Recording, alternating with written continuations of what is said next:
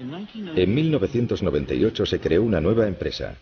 Su misión iba a ser organizar la información del mundo y hacerla accesible y útil para todos. Se calculó que tardaría unos 300 años en alcanzar esa meta.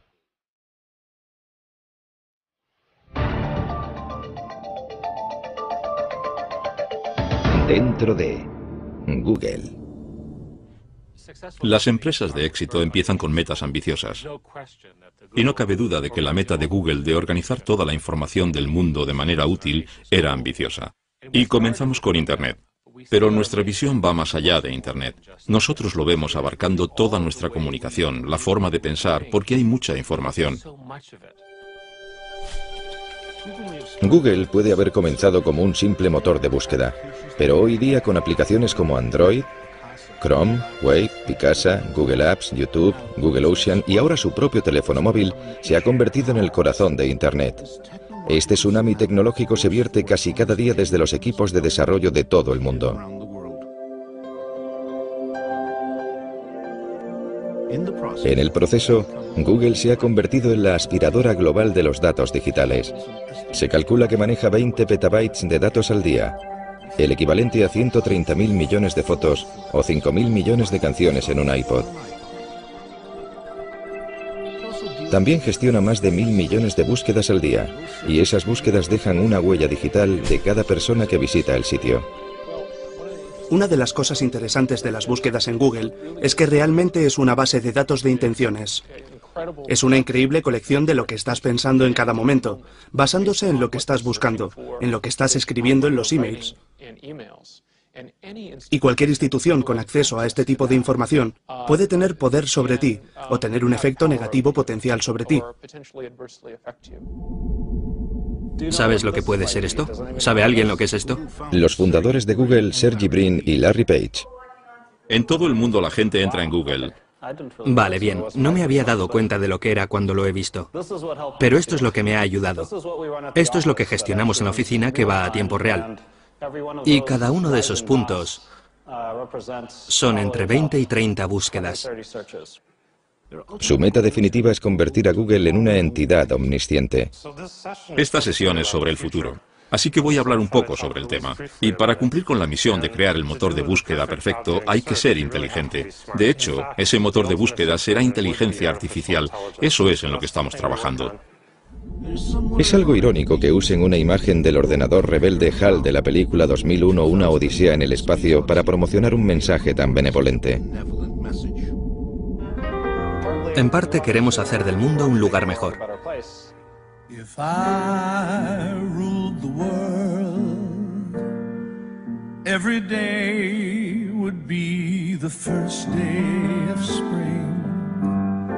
En solo 10 años, Google se ha convertido en una de las mayores y más atípicas empresas de Silicon Valley. En ese tiempo ha cultivado la imagen de ser una presencia masiva pero benigna, si bien esa percepción pública está cambiando.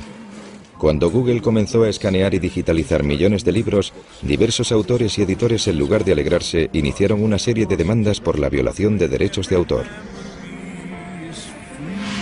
Poco después de que se lanzara Google Noticias, Google se convirtió en el objetivo de una condena por parte de los medios impresos, que lo acusaron de eliminar sus ingresos publicitarios y de ser responsable del desplome de los ingresos editoriales.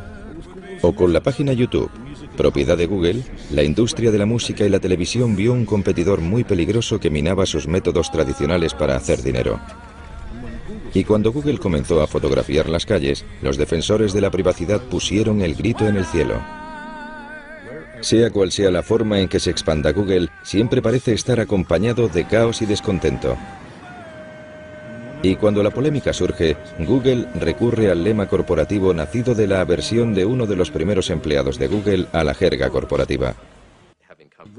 Yo venía de Intel y tenía la idea metida en la cabeza de que no quería trabajar en empresas grandes. Me interesaba algo un poco más provocativo, algo más interesante, algo que causara controversia. Y allí sentado en la reunión estaba intentando pensar en algo interesante y lo que me vino a la cabeza fue simplemente no seas malvado. Cuando llegué pensé que era una broma. Pensé que era una historia de marketing interno de la empresa y un día estaba sentado en la sala, nunca lo olvidaré. Estábamos hablando de publicidad y uno de los ingenieros, Ron, dio un puñetazo en la mesa y dijo, eso es ser malvado. Y de repente se hizo el silencio. Era como si todo el mundo hubiera saltado por la mesa y se hubiera escondido debajo. Y de repente centró la conversación en si este cambio en concreto era positivo o negativo para los clientes. Y acabamos no implantándolo por esa razón. No es un mal lema, pero está mal planteado, porque es cada vez más difícil decir que uno no es malvado al pensar en el alcance de distintas actividades en las que participan los proveedores de servicios. Ya no se trata solo de búsquedas. El motor de búsquedas Google nació en ese centro de innovación tecnológica que es el Departamento de Informática de la Universidad de Stanford. Larry Page y Sergey Brin se conocieron en la universidad en 1995. Tenían mucho en común. Sus padres eran profesores universitarios y sus madres científicas. Ambos nacieron en 1973. Ambos crecieron con ordenadores y amaban todo lo relacionado con ellos.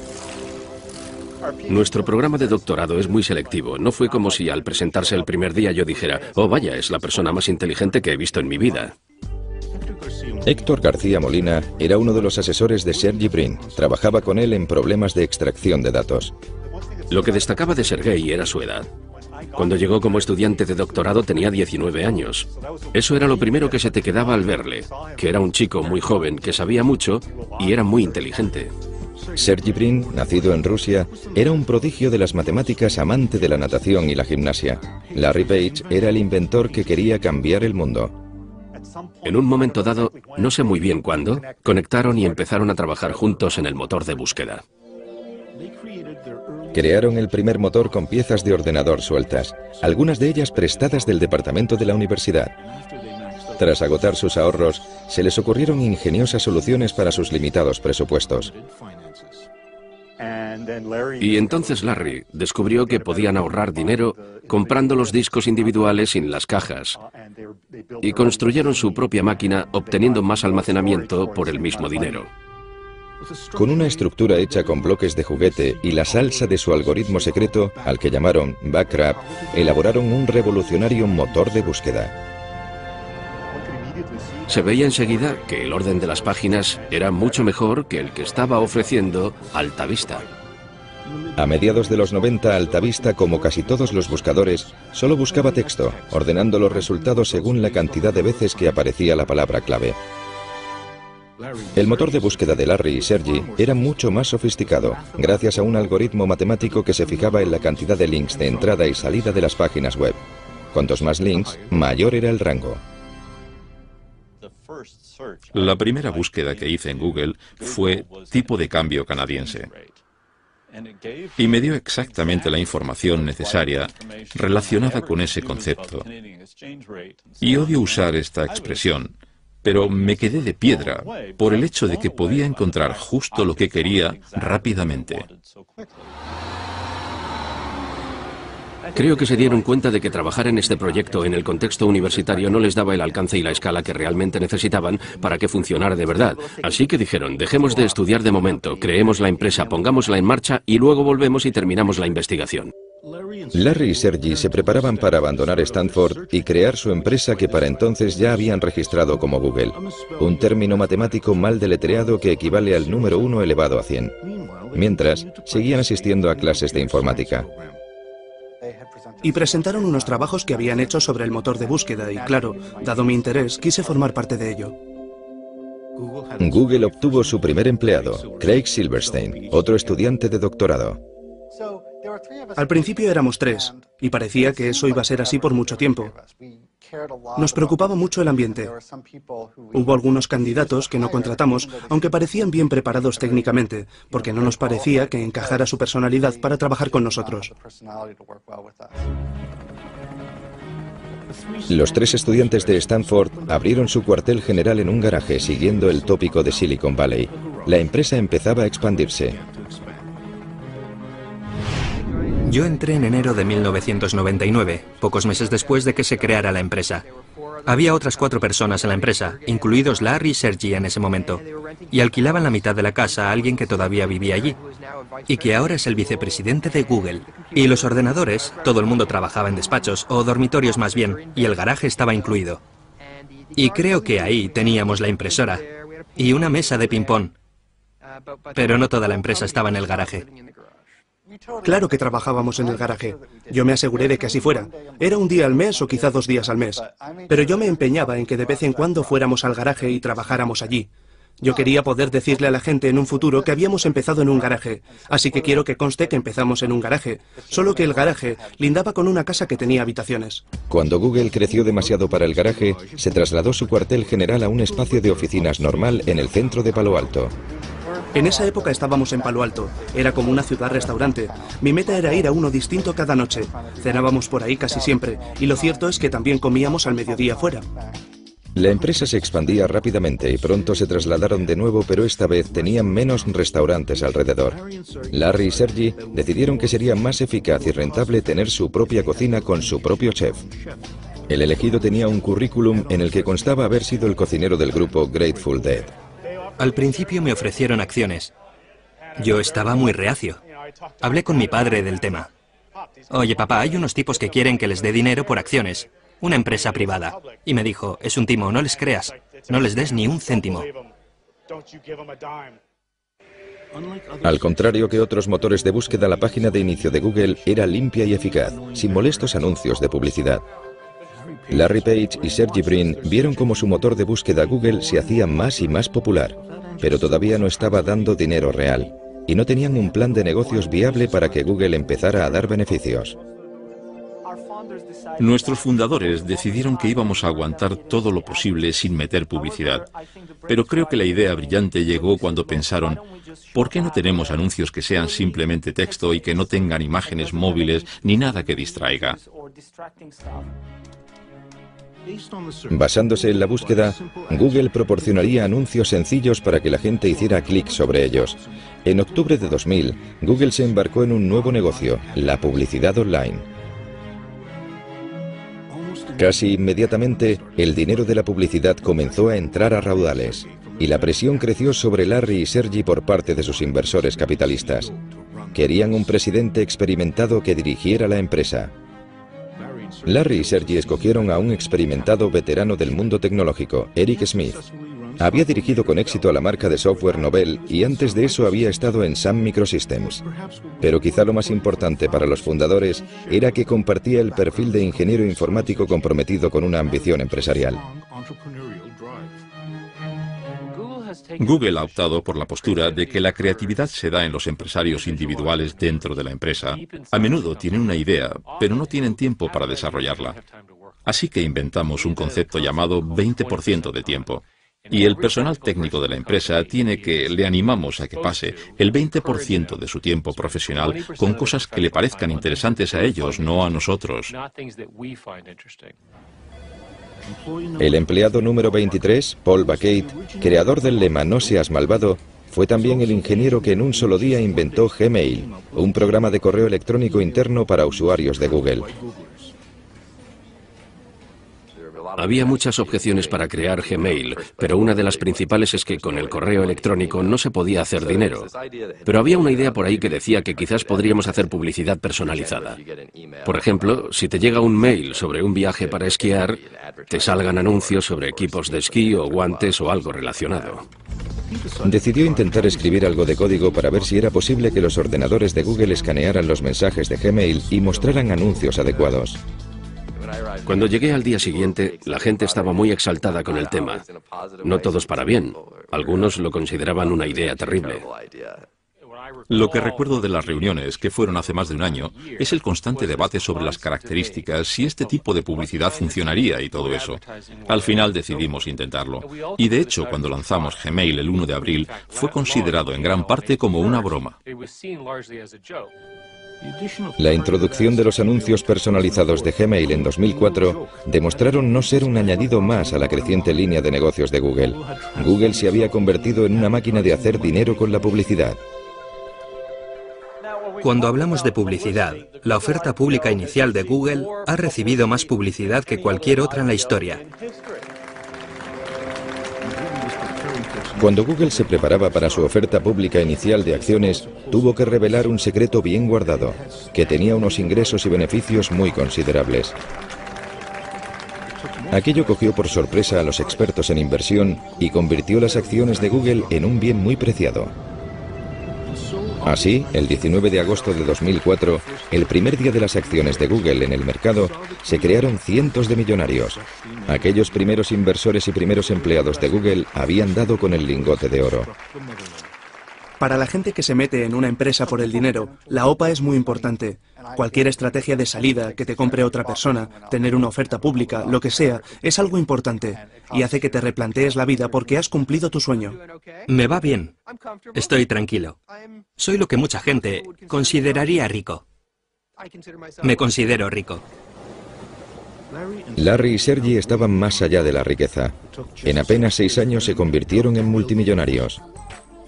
Su empresa, Google, se había convertido en uno de los mayores motores de búsqueda del mundo. Incluso había entrado en diccionarios como verbo. Google como herramienta tecnológica se había convertido en parte de la cultura popular. Y la percepción de los jóvenes de que la empresa era una mezcla de residencia universitaria con un paraíso friki hacía que recibieran más de un millón de solicitudes de trabajo al año. Vienes a Google y por primera vez te da la sensación real de que la gente sabe lo que hace y que saben más que yo. ¿Qué se siente al ser uno de los pocos elegidos para ser parte de Google?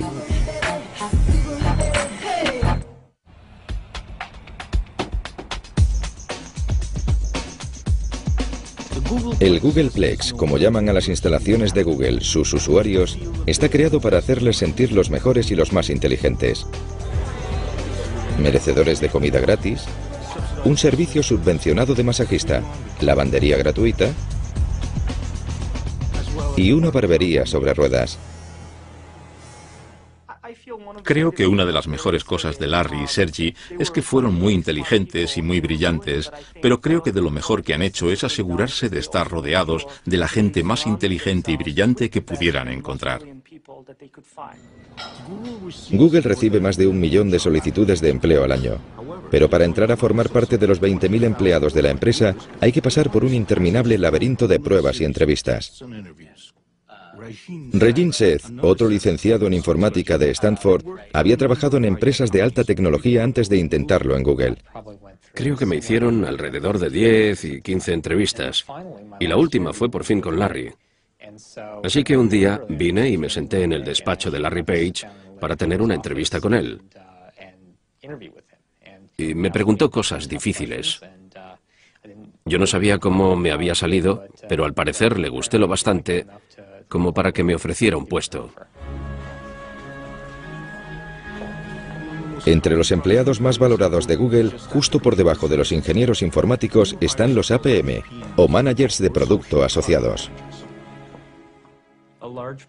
En gran medida, Google contrata a asociados como yo, recién licenciados, para poder inculcarles de alguna manera, como a mí, la forma en la que Google quiere que se comporten. La mayoría son jóvenes, recién licenciados con un expediente académico increíble y se les da una gran cantidad de responsabilidad y autoridad nada más empezar su carrera. No estamos dando mucha prioridad a eso ahora mismo, porque no pensamos que vaya a poder sustituir a la página de inicio desde el primer día. En la cosecha más reciente de APMs hay un canadiense, Jeff Harris. El trabajo que estoy haciendo es de manager de producto asociado, diseñado para gente con una formación técnica, pero que en el día a día no tiene por qué trabajar con código.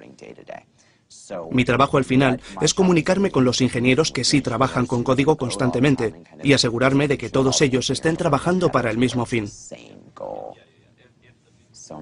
Acabo de cumplir los 22. Creo que la mayor sorpresa al trabajar en Google es ver lo abierto que es respecto a todo lo que hacemos. Puedo mirar en nuestra web interna y ver detalles de todos los proyectos, algo genial desde el punto de vista organizativo.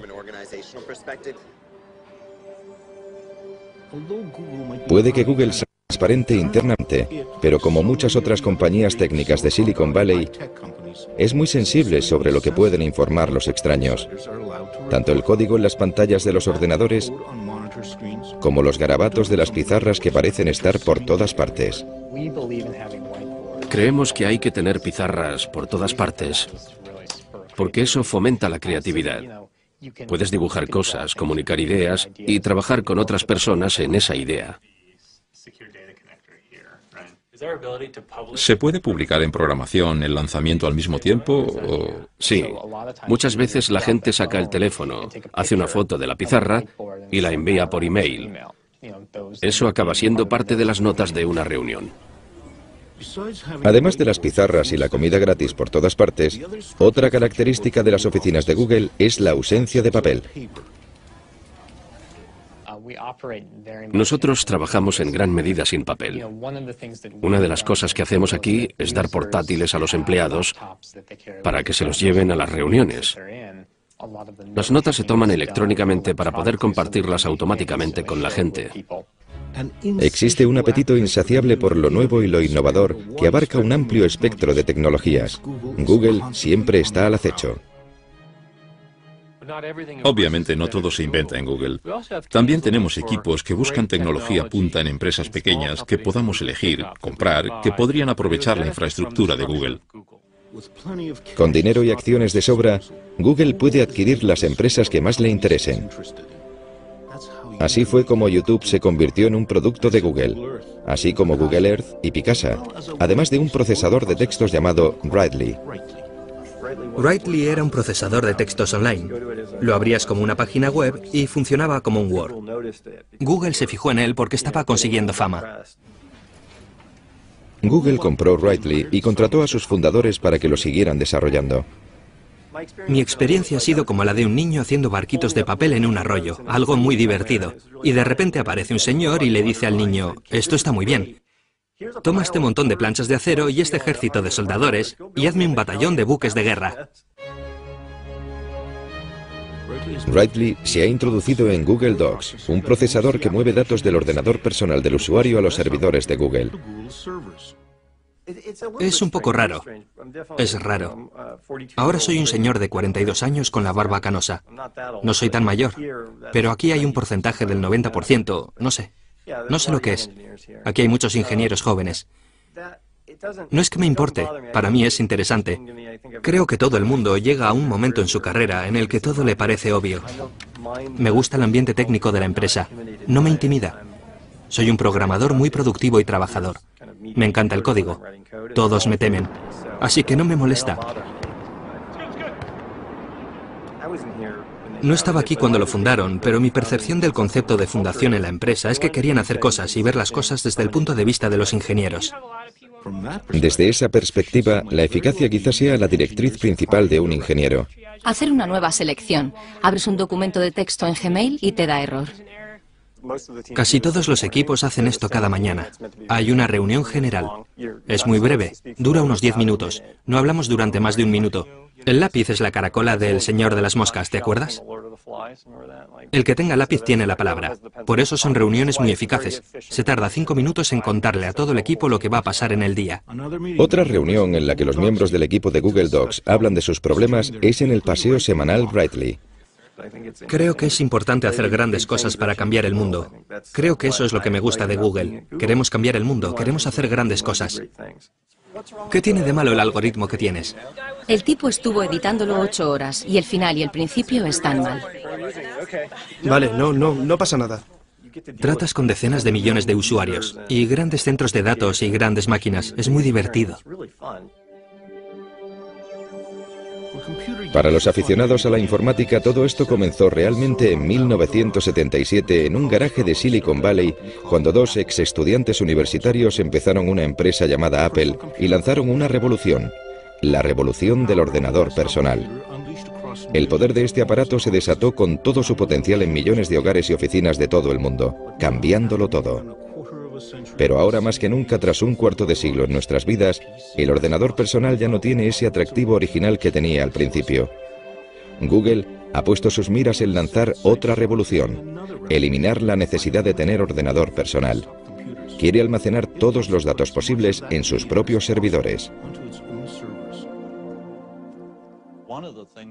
Una de las cosas que creo que no se aprecian desde el principio, incluido Stanford, y que se les daba genial, es minimizar costes al crear sistemas informáticos. Y han seguido teniendo esa habilidad de proporcionar una gran potencia informática a un coste relativamente bajo. Desde el inicio, Google ha hecho que sea una prioridad fabricar lo más barato posible en materia de servidores y almacenamiento para gestionar las búsquedas de Internet. Y con el crecimiento de Internet, ha crecido la necesidad de más capacidad informática. Google crea grandes centros de datos. Usamos componentes de ordenadores personales y luego construimos sistemas especializados para poder gestionar la gran escala necesaria. La escala es vital para Google. No solo tiene acceso a una potencia casi ilimitada, sino que quizá lo más importante es que ha acumulado una ingente cantidad de datos, datos que se pueden utilizar para pruebas a escalas inusitadas para los nuevos ingenieros informáticos. Mi compañero y yo estábamos hablando de unas ideas y estábamos barajando algo que más tarde se convirtió en algo parecido a Google Bookmarks. Hicimos algunos cálculos y vimos que sería alrededor de 4 petabytes de datos aproximadamente. Tampoco es mucho. Y esa frase, 4 petabytes de datos tampoco es mucho, es algo que un mes antes de entrar a trabajar en Google me habría sorprendido mucho oír saliendo de mi boca. Esos nada menos que 4 petabytes son el equivalente a 4 millones de gigabytes, cifras tan largas que es casi imposible para los mortales llegar a entenderlas. Como la memoria aumenta en capacidad y se reduce en precio, Google está pasando a algo llamado computación en nube. La idea de este concepto es coger toda la información y ponerla en un servidor donde los profesionales la gestionen. El problema es que hoy tenemos todo guardado en los ordenadores. Se nos cae, lo rompemos, lo borramos, es un desastre. ¿Por qué no poner todo lo importante en otro sitio, que esté seguro, que esté bajo control? Está disponible siempre que lo necesitas en todos tus dispositivos, donde quiera que estés. El traslado a este concepto está iniciando una revolución en nuestra forma de comunicarnos, de trabajar, de jugar e incluso de vivir. La gente se pregunta qué va a pasar con la información personal, con los registros bancarios, con la información sanitaria, lo que sea, pero yo no lo controlo. Está ahí en alguna parte. Tengo que confiar en que el que lo tiene no haga nada que yo no quisiera que hiciera. ¿Podría ser esta nueva jugada la manera clandestina de los gobiernos y las grandes empresas de acceder en secreto a nuestros datos personales?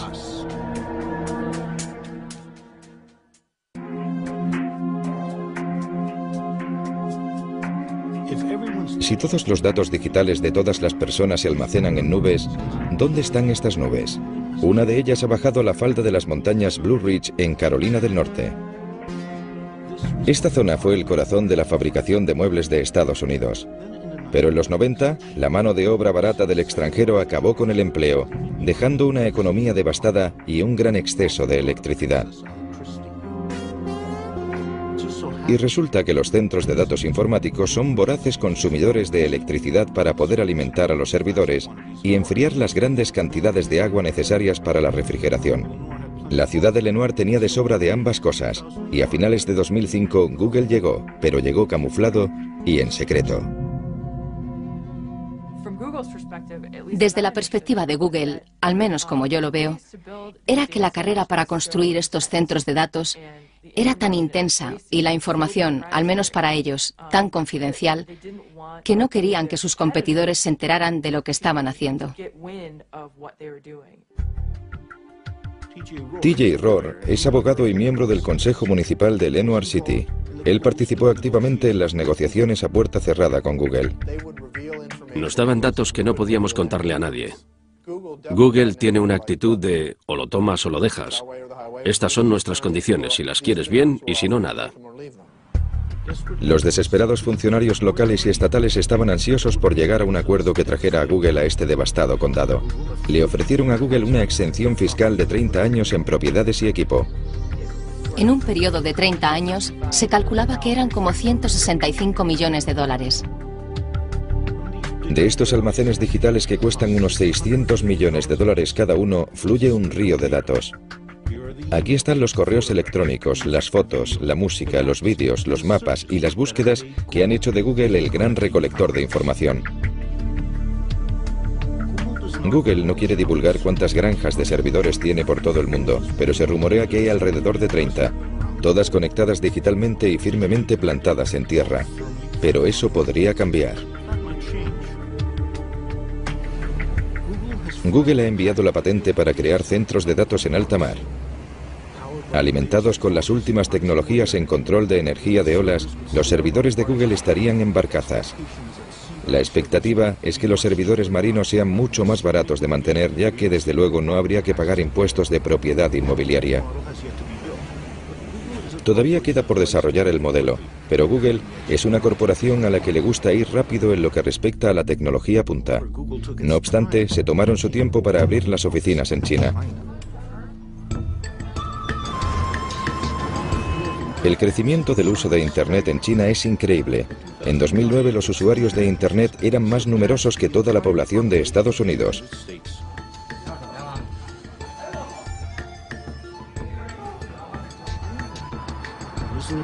Es un mercado al alza muy complicado en gran medida por la censura gubernamental.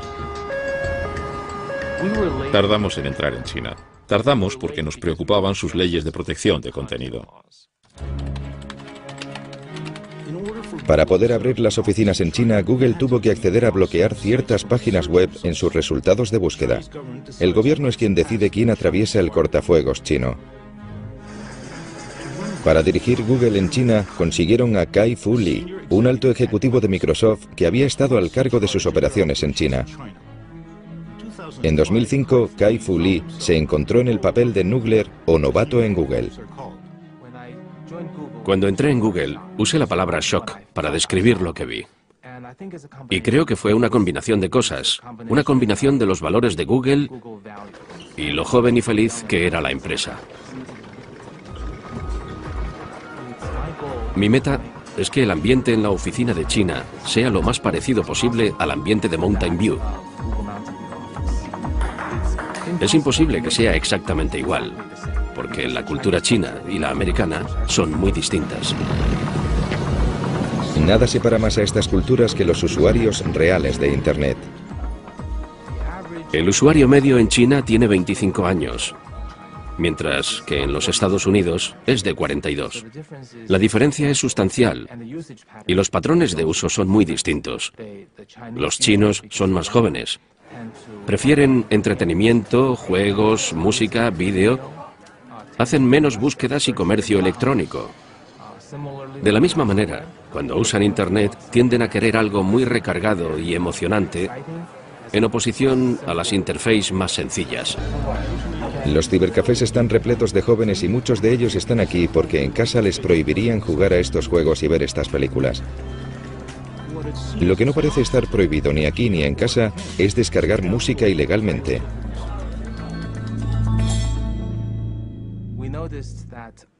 Nos hemos fijado en que la mayoría de los chinos en Internet descargan música pirata o sin licencia con otros motores de búsqueda. Y eso es un hábito y creo que la mayoría se sienten con derecho a hacerlo.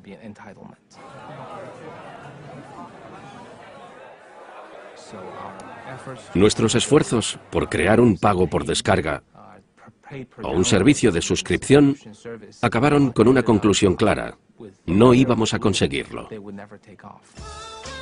Un ingeniero de Google y un manager de producto usaron su 20% de tiempo para crear Google Music, para descargar música gratuitamente con el apoyo de la mayoría de las discográficas. Esperamos que la fórmula no solo tenga éxito y sea popular, sino que sea rentable para las discográficas, para nuestro socio y para nosotros. Mientras el gobierno chino parece tolerar la piratería musical, muestra menos paciencia con Google, acusando recientemente al buscador de difundir pornografía. Google está registrado en China, así que hemos de seguir sus leyes. Sean cuales sean. Nuestros empleados son ciudadanos chinos. Ellos tienen que seguir la ley china donde quiera que trabajen. Seguir la ley china implica que las búsquedas en Google desde el interior de China de cosas como Falun Gong, Independencia del Tíbet o Plaza de Tiananmen daban resultados muy distintos a los que encontraríamos fuera de China. Y así operó durante cuatro años hasta que en enero de 2010 Google anunció que dejaría de censurar sus resultados de búsqueda tras un gran ciberataque originado en China contra la propiedad intelectual de Google y las cuentas de Gmail de diversos activistas de derechos humanos.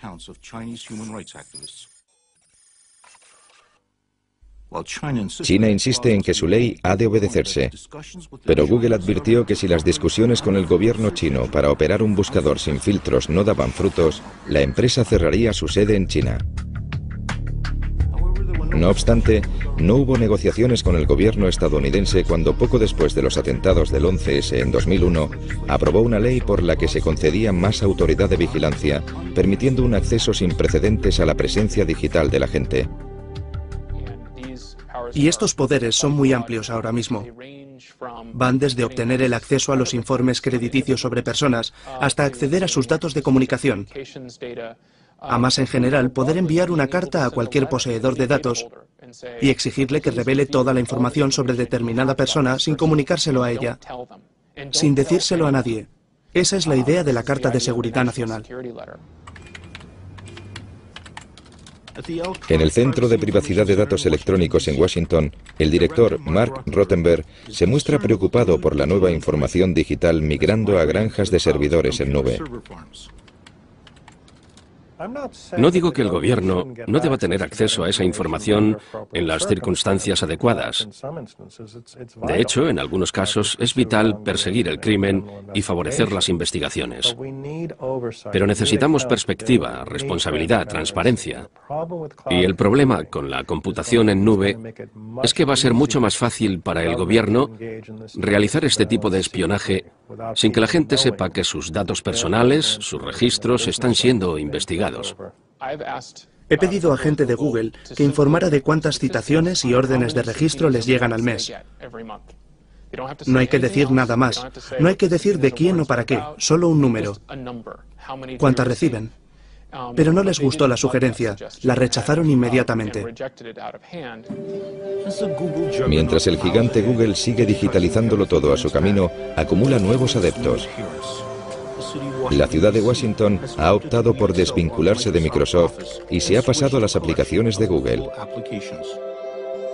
Su oferta de una vida más barata, segura y colaborativa en su nube demostró ser demasiado jugosa como para rechazarla.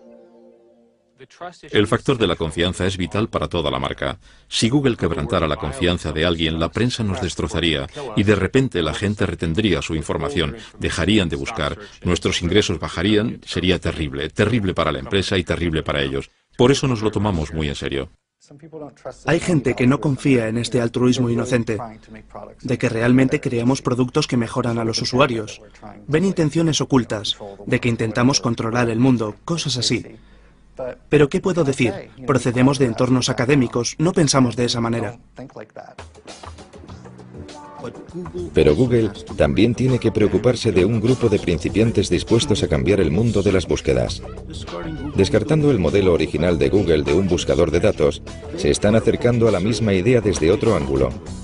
Quieren controlar el poder de lo que se conoce como la sabiduría de los amigos. Creo que este es el sitio que va a definir los próximos años lo que Internet y el mundo van a ser. ¿Por qué entonces algunos de los grandes representantes de la búsqueda social son ex trabajadores de Google listos a retar a su ex empresa?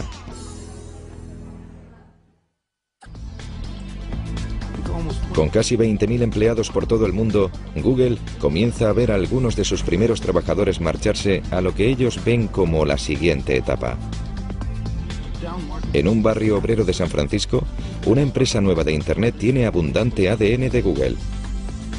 Varios de sus fundadores son ex trabajadores de la empresa, pero su compañía Advar quiere ir más allá de Google y transformar la búsqueda en sí. Nos gusta llamarlo búsqueda social. Es la idea de que estás buscando a la persona adecuada en cada momento. Y no es que quieras saber su biografía, es que quieres interactuar con ellos.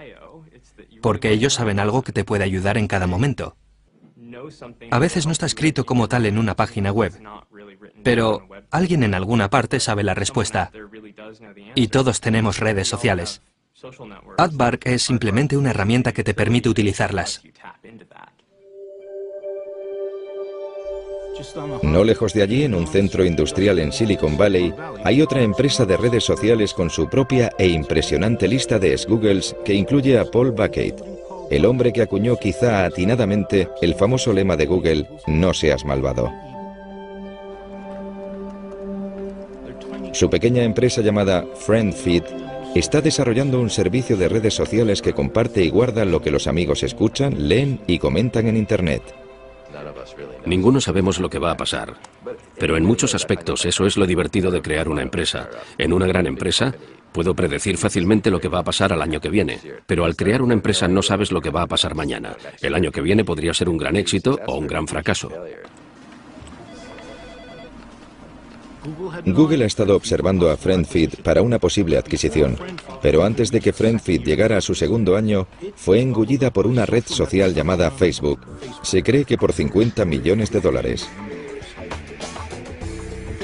Facebook, fundada por un exalumno de Harvard en 2004, ha experimentado un crecimiento explosivo y representa un gran reto para Google. Asimismo, atrae a un sorprendente número de ex-Googles. Creo que irme de Google y optar por venir a Facebook demuestra lo convencido que estoy de la importancia de la misión de Facebook. Facebook, junto con Twitter, son las redes sociales más populares del mundo y han comprendido que sus recomendaciones de amistad son una forma de búsqueda que nada tiene que ver con los fríos algoritmos de cálculo de Google. Para la mayoría de la gente fuera de la ingeniería, el mundo consiste en relaciones, consiste en conectar con otros seres humanos, y en ese sentido Facebook realmente es el siguiente paso en la evolución de lo que realmente importa desde una perspectiva tecnológica. Google entró en las redes sociales con algo llamado Orkut, que si bien fue tremendamente popular en India y Sudamérica, no consiguió atraer a las masas en Europa y Norteamérica. Google no llegó a entrar en el negocio de las redes sociales y creo que en parte es por la personalidad de sus fundadores. Creo que son ingenieros y ya sabes, no es prioridad charlar con sus amigos, sino obtener información del mundo científico. Eso es lo que les importa. Creo que en cierto sentido tenían el prejuicio de que esto no era algo interesante, que no era importante. ¿Por qué iba a querer nadie perder el tiempo con eso? Y claro, el mundo ha adoptado Facebook y Twitter y todas esas cosas, y Google tiene los medios técnicos para hacerlo. Sí, podemos poner cosas como Twitter en Gmail, podemos poner Facebook en aplicaciones que tenemos, tenemos Orkut, pero creo que realmente la empresa no quiere eso. No es la prioridad de la empresa, se trata de la información, de toda la información mundial. Google realmente opina que los datos van a aportarle un gran beneficio a la sociedad. La empresa opina de veras que va a encontrar la manera de hacer que los datos mejoren nuestras vidas, que las haga más fáciles, tomar mejores decisiones. Lo creen de verdad. Por ejemplo, con las tendencias de la gripe, opinan que al hacer seguimientos de búsquedas como tos y otros problemas médicos, van a detectar los brotes de gripe, van a poder mejorar las intervenciones sanitarias.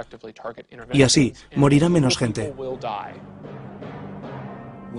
Cuando Google lanzó su OPA, Larry y Sergi escribieron personalmente una carta explicando sus aspiraciones futuras. Google no es una empresa convencional y no pretendemos serlo. La misión de Google es recoger todos los datos del mundo y hacerlos accesibles y útiles. Y hacerlos en 300 años yendo más allá de la búsqueda en sitios de Internet. Tanto fotografiando calles como digitalizando libros o convirtiendo dispositivos móviles en portales de Internet. O creando el mayor depósito de vídeo del planeta en su propia nube, Google sigue siendo un fenómeno tecnológico pero su futuro está en algo bastante poco científico, la confianza. Eso es lo que hace que les demos nuestros datos para que los mantengan alejados de hackers y espías del gobierno. La confianza de que no van a dar mal uso nuestra información y de que estará a la altura de su lema, no seas malvado.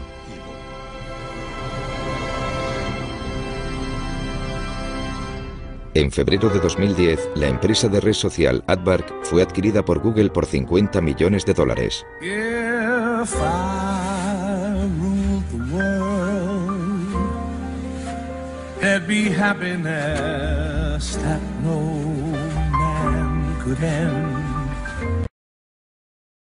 Google compró Rightly y contrató a sus fundadores para que lo siguieran desarrollando. Mi experiencia ha sido como la de un niño haciendo barquitos de papel en un arroyo, algo muy divertido. Y de repente aparece un señor y le dice al niño, esto está muy bien. Toma este montón de planchas de acero y este ejército de soldadores y hazme un batallón de buques de guerra. Rightly se ha introducido en Google Docs, un procesador que mueve datos del ordenador personal del usuario a los servidores de Google. Es un poco raro. Es raro. Ahora soy un señor de 42 años con la barba canosa. No soy tan mayor, pero aquí hay un porcentaje del 90%, no sé. No sé lo que es. Aquí hay muchos ingenieros jóvenes. No es que me importe, para mí es interesante. Creo que todo el mundo llega a un momento en su carrera en el que todo le parece obvio. Me gusta el ambiente técnico de la empresa. No me intimida. Soy un programador muy productivo y trabajador. Me encanta el código. Todos me temen. Así que no me molesta. No estaba aquí cuando lo fundaron, pero mi percepción del concepto de fundación en la empresa es que querían hacer cosas y ver las cosas desde el punto de vista de los ingenieros. Desde esa perspectiva, la eficacia quizás sea la directriz principal de un ingeniero. Hacer una nueva selección. Abres un documento de texto en Gmail y te da error. Casi todos los equipos hacen esto cada mañana. Hay una reunión general. Es muy breve, dura unos 10 minutos. No hablamos durante más de un minuto. El lápiz es la caracola del señor de las moscas, ¿te acuerdas? El que tenga lápiz tiene la palabra. Por eso son reuniones muy eficaces. Se tarda cinco minutos en contarle a todo el equipo lo que va a pasar en el día. Otra reunión en la que los miembros del equipo de Google Docs hablan de sus problemas es en el paseo semanal Brightly. Creo que es importante hacer grandes cosas para cambiar el mundo. Creo que eso es lo que me gusta de Google. Queremos cambiar el mundo, queremos hacer grandes cosas. ¿Qué tiene de malo el algoritmo que tienes? El tipo estuvo editándolo ocho horas y el final y el principio están mal. Vale, no, no, no pasa nada. Tratas con decenas de millones de usuarios y grandes centros de datos y grandes máquinas. Es muy divertido. Para los aficionados a la informática, todo esto comenzó realmente en 1977 en un garaje de Silicon Valley, cuando dos ex estudiantes universitarios empezaron una empresa llamada Apple y lanzaron una revolución, la revolución del ordenador personal. El poder de este aparato se desató con todo su potencial en millones de hogares y oficinas de todo el mundo, cambiándolo todo. Pero ahora más que nunca, tras un cuarto de siglo en nuestras vidas, el ordenador personal ya no tiene ese atractivo original que tenía al principio. Google ha puesto sus miras en lanzar otra revolución, eliminar la necesidad de tener ordenador personal. Quiere almacenar todos los datos posibles en sus propios servidores. Una de las cosas que creo que no se aprecian desde el principio, incluido Stanford, y que se les daba genial, es minimizar costes al crear sistemas informáticos. Y han seguido teniendo esa habilidad de proporcionar una gran potencia informática a un coste relativamente bajo. Desde el inicio, Google ha hecho que sea una prioridad fabricar lo más barato posible en materia de servidores y almacenamiento para gestionar las búsquedas de Internet. Y con el crecimiento de Internet, ha crecido la necesidad de más capacidad informática. Google crea grandes centros de datos. Usamos componentes de ordenadores personales y luego construimos sistemas especializados para poder gestionar la gran escala necesaria. La escala es vital para Google. No solo tiene acceso a una potencia casi ilimitada, sino que quizá lo más importante es que ha acumulado una ingente cantidad de datos, datos que se pueden utilizar para pruebas a escalas inusitadas para los nuevos ingenieros informáticos. Mi compañero y yo estábamos hablando de unas ideas y estábamos barajando algo que más tarde se convirtió en algo parecido a Google Bookmarks. Hicimos algunos cálculos y vimos que sería alrededor de 4 petabytes de datos aproximadamente. Tampoco es mucho. Y esa frase, 4 petabytes de datos tampoco es mucho, es algo que un mes antes de entrar a trabajar en Google me habría sorprendido mucho oír saliendo de mi boca. Esos nada menos que 4 petabytes son el equivalente a 4 millones de gigabytes, cifras tan largas que es casi imposible para los mortales llegar a entenderlas. Como la memoria aumenta en capacidad y se reduce en precio, Google está pasando a algo llamado computación en nube. La idea de este concepto es coger toda la información y ponerla en un servidor donde los profesionales la gestionen. El problema es que hoy tenemos todo guardado en los ordenadores. Se nos cae, lo rompemos, lo borramos, es un desastre. ¿Por qué no poner todo lo importante en otro sitio, que esté seguro, que esté bajo control? Está disponible siempre que lo necesitas en todos tus dispositivos, donde quiera que estés. El traslado a este concepto está iniciando una revolución en nuestra forma de comunicarnos, de trabajar, de jugar e incluso de vivir. La gente se pregunta qué va a pasar con la información personal, con los registros bancarios, con la información sanitaria, lo que sea, pero yo no lo controlo. Está ahí en alguna parte. Tengo que confiar en que el que lo tiene no haga nada que yo no quisiera que hiciera. ¿Podría ser esta nueva jugada la manera clandestina de los gobiernos y las grandes empresas de acceder en secreto a nuestros datos personales?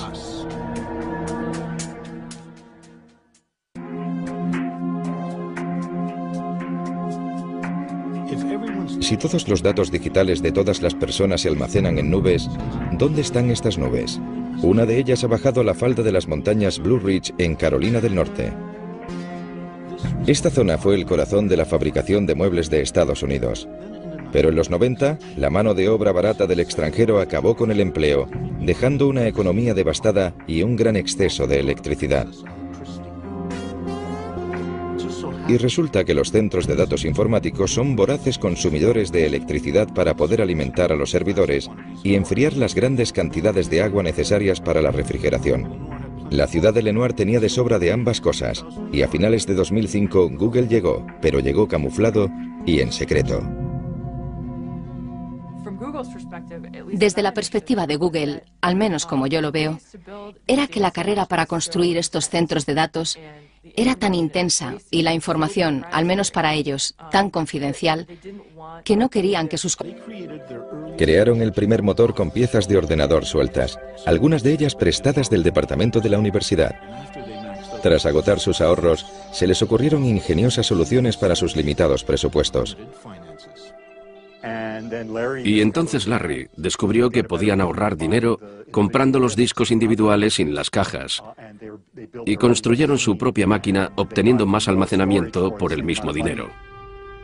Con una estructura hecha con bloques de juguete y la salsa de su algoritmo secreto, al que llamaron Backrap, elaboraron un revolucionario motor de búsqueda. Se veía enseguida que el orden de las páginas era mucho mejor que el que estaba ofreciendo Altavista. A mediados de los 90, Altavista, como casi todos los buscadores, solo buscaba texto, ordenando los resultados según la cantidad de veces que aparecía la palabra clave. El motor de búsqueda de Larry y Sergi era mucho más sofisticado, gracias a un algoritmo matemático que se fijaba en la cantidad de links de entrada y salida de las páginas web. Cuantos más links, mayor era el rango. La primera búsqueda que hice en Google fue tipo de cambio canadiense. Y me dio exactamente la información necesaria relacionada con ese concepto. Y odio usar esta expresión, pero me quedé de piedra por el hecho de que podía encontrar justo lo que quería rápidamente. Creo que se dieron cuenta de que trabajar en este proyecto en el contexto universitario no les daba el alcance y la escala que realmente necesitaban para que funcionara de verdad. Así que dijeron, dejemos de estudiar de momento, creemos la empresa, pongámosla en marcha y luego volvemos y terminamos la investigación. Larry y Sergi se preparaban para abandonar Stanford y crear su empresa que para entonces ya habían registrado como Google, un término matemático mal deletreado que equivale al número 1 elevado a 100. Mientras, seguían asistiendo a clases de informática y presentaron unos trabajos que habían hecho sobre el motor de búsqueda y claro, dado mi interés, quise formar parte de ello. Google obtuvo su primer empleado, Craig Silverstein, otro estudiante de doctorado. Al principio éramos tres, y parecía que eso iba a ser así por mucho tiempo. Nos preocupaba mucho el ambiente. Hubo algunos candidatos que no contratamos, aunque parecían bien preparados técnicamente, porque no nos parecía que encajara su personalidad para trabajar con nosotros. Los tres estudiantes de Stanford abrieron su cuartel general en un garaje siguiendo el tópico de Silicon Valley. La empresa empezaba a expandirse. Yo entré en enero de 1999, pocos meses después de que se creara la empresa. Había otras cuatro personas en la empresa, incluidos Larry y Sergi en ese momento, y alquilaban la mitad de la casa a alguien que todavía vivía allí, y que ahora es el vicepresidente de Google. Y los ordenadores, todo el mundo trabajaba en despachos, o dormitorios más bien, y el garaje estaba incluido. Y creo que ahí teníamos la impresora, y una mesa de ping-pong. Pero no toda la empresa estaba en el garaje. Claro que trabajábamos en el garaje. Yo me aseguré de que así fuera. Era un día al mes o quizá dos días al mes. Pero yo me empeñaba en que de vez en cuando fuéramos al garaje y trabajáramos allí. Yo quería poder decirle a la gente en un futuro que habíamos empezado en un garaje, así que quiero que conste que empezamos en un garaje, solo que el garaje lindaba con una casa que tenía habitaciones. Cuando Google creció demasiado para el garaje, se trasladó su cuartel general a un espacio de oficinas normal en el centro de Palo Alto. En esa época estábamos en Palo Alto. Era como una ciudad-restaurante. Mi meta era ir a uno distinto cada noche. Cenábamos por ahí casi siempre. Y lo cierto es que también comíamos al mediodía fuera.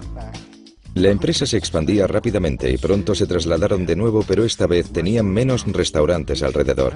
Larry y Sergi decidieron que sería más eficaz y rentable tener su propia cocina con su propio chef. El elegido tenía un currículum en el que constaba haber sido el cocinero del grupo Grateful Dead. Al principio me ofrecieron acciones.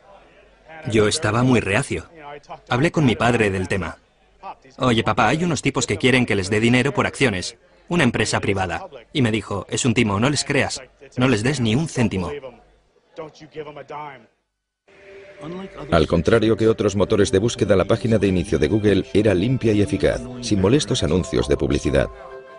Larry Page y Sergey Brin vieron cómo su motor de búsqueda Google se hacía más y más popular, pero todavía no estaba dando dinero real, y no tenían un plan de negocios viable para que Google empezara a dar beneficios.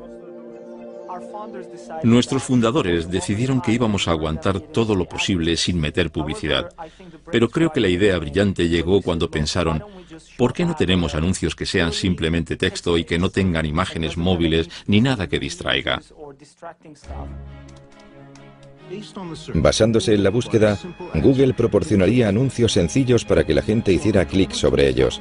En octubre de 2000, Google se embarcó en un nuevo negocio, la publicidad online. Casi inmediatamente, el dinero de la publicidad comenzó a entrar a raudales, y la presión creció sobre Larry y Sergi por parte de sus inversores capitalistas. Querían un presidente experimentado que dirigiera la empresa. Larry y Sergi escogieron a un experimentado veterano del mundo tecnológico, Eric Smith.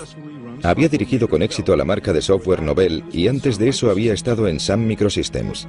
Pero quizá lo más importante para los fundadores era que compartía el perfil de ingeniero informático comprometido con una ambición empresarial.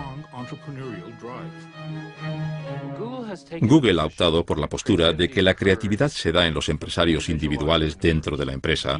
A menudo tienen una idea, pero no tienen tiempo para desarrollarla.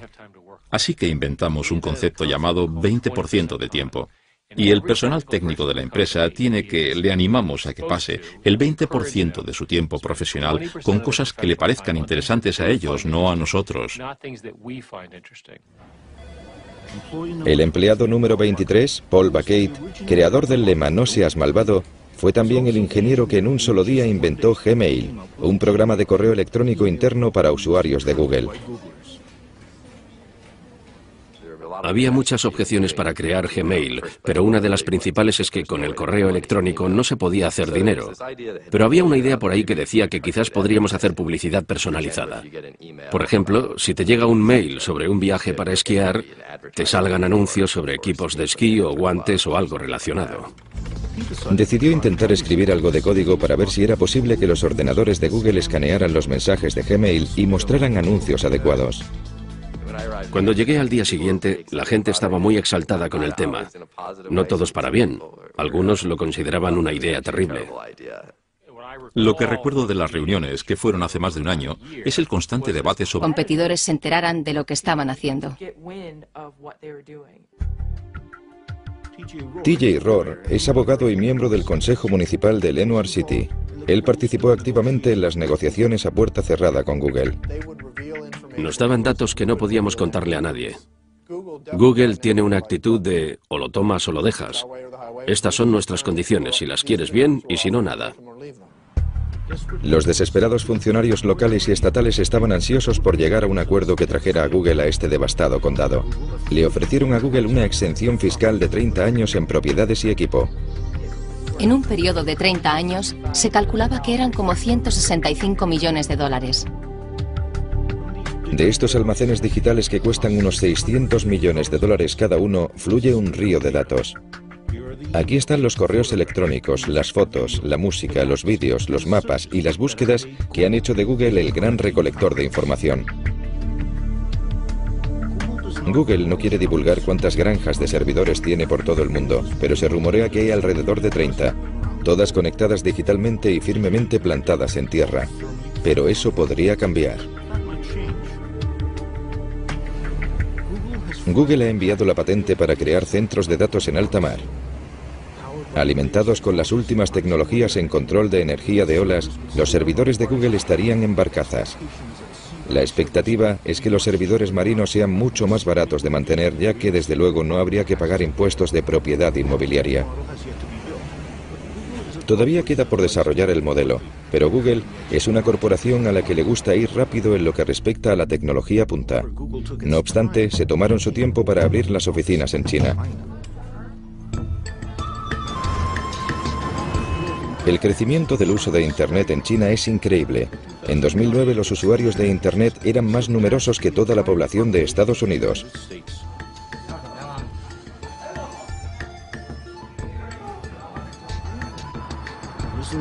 Es un mercado al alza muy complicado en gran medida por la censura gubernamental. Tardamos en entrar en China. Tardamos porque nos preocupaban sus leyes de protección de contenido. Para poder abrir las oficinas en China, Google tuvo que acceder a bloquear ciertas páginas web en sus resultados de búsqueda. El gobierno es quien decide quién atraviesa el cortafuegos chino. Para dirigir Google en China, consiguieron a Kai Fu Lee, un alto ejecutivo de Microsoft que había estado al cargo de sus operaciones en China. En 2005, Kai Fu Lee se encontró en el papel de Nugler o novato en Google. Cuando entré en Google, usé la palabra shock para describir lo que vi. Y creo que fue una combinación de cosas, una combinación de los valores de Google y lo joven y feliz que era la empresa. Mi meta es que el ambiente en la oficina de China sea lo más parecido posible al ambiente de Mountain View. Es imposible que sea exactamente igual, porque la cultura china y la americana son muy distintas. Nada separa más a estas culturas que los usuarios reales de Internet. El usuario medio en China tiene 25 años, mientras que en los Estados Unidos es de 42. La diferencia es sustancial y los patrones de uso son muy distintos. Los chinos son más jóvenes. Prefieren entretenimiento, juegos, música, vídeo hacen menos búsquedas y comercio electrónico. De la misma manera, cuando usan Internet, tienden a querer algo muy recargado y emocionante en oposición a las interfaces más sencillas. Los cibercafés están repletos de jóvenes y muchos de ellos están aquí porque en casa les prohibirían jugar a estos juegos y ver estas películas. Lo que no parece estar prohibido ni aquí ni en casa es descargar música ilegalmente.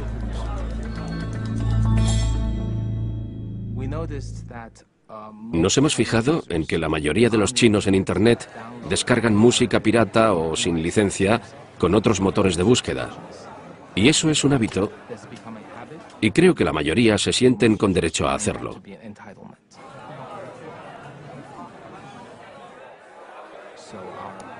Nuestros esfuerzos por crear un pago por descarga o un servicio de suscripción, acabaron con una conclusión clara. No íbamos a conseguirlo. Un ingeniero de Google y un manager de producto usaron su 20% de tiempo para crear Google Music, para descargar música gratuitamente con el apoyo de la mayoría de las discográficas. Esperamos que la fórmula no solo tenga éxito y sea popular, sino que sea rentable para las discográficas, para nuestro socio y para nosotros. Mientras el gobierno chino parece tolerar la piratería musical, muestra menos paciencia con Google, acusando recientemente al buscador de difundir pornografía. Google está registrado en China, así que hemos de seguir sus leyes. Sean cuales sean. Nuestros empleados son ciudadanos chinos. Ellos tienen que seguir la ley china donde quiera que trabajen. Seguir la ley china implica que las búsquedas en Google desde el interior de China de cosas como Falun Gong, Independencia del Tíbet o Plaza de Tiananmen daban resultados muy distintos a los que encontraríamos fuera de China. Y así operó durante cuatro años hasta que en enero de 2010 Google anunció que dejaría de censurar sus resultados de búsqueda tras un gran ciberataque originado en China contra la propiedad intelectual de Google y las cuentas de Gmail de diversos activistas de derechos humanos.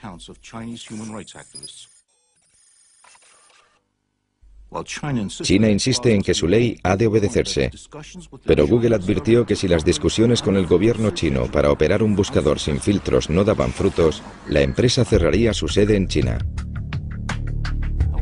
No obstante, no hubo negociaciones con el gobierno estadounidense cuando poco después de los atentados del 11S en 2001, aprobó una ley por la que se concedía más autoridad de vigilancia, permitiendo un acceso sin precedentes a la presencia digital de la gente.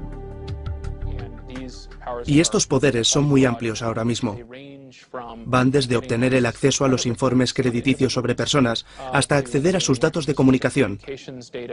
A más en general, poder enviar una carta a cualquier poseedor de datos y exigirle que revele toda la información sobre determinada persona sin comunicárselo a ella, sin decírselo a nadie. Esa es la idea de la Carta de Seguridad Nacional las características, si este tipo de publicidad funcionaría y todo eso. Al final decidimos intentarlo. Y de hecho, cuando lanzamos Gmail el 1 de abril, fue considerado en gran parte como una broma. La introducción de los anuncios personalizados de Gmail en 2004 demostraron no ser un añadido más a la creciente línea de negocios de Google. Google se había convertido en una máquina de hacer dinero con la publicidad. Cuando hablamos de publicidad, la oferta pública inicial de Google ha recibido más publicidad que cualquier otra en la historia. Cuando Google se preparaba para su oferta pública inicial de acciones, tuvo que revelar un secreto bien guardado, que tenía unos ingresos y beneficios muy considerables. Aquello cogió por sorpresa a los expertos en inversión y convirtió las acciones de Google en un bien muy preciado. Así, el 19 de agosto de 2004, el primer día de las acciones de Google en el mercado, se crearon cientos de millonarios. Aquellos primeros inversores y primeros empleados de Google habían dado con el lingote de oro. Para la gente que se mete en una empresa por el dinero, la OPA es muy importante.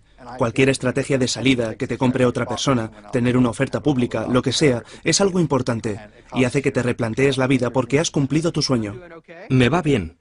Estoy tranquilo. Soy lo que mucha gente consideraría rico. Me considero rico. Larry y Sergi estaban más allá de la riqueza.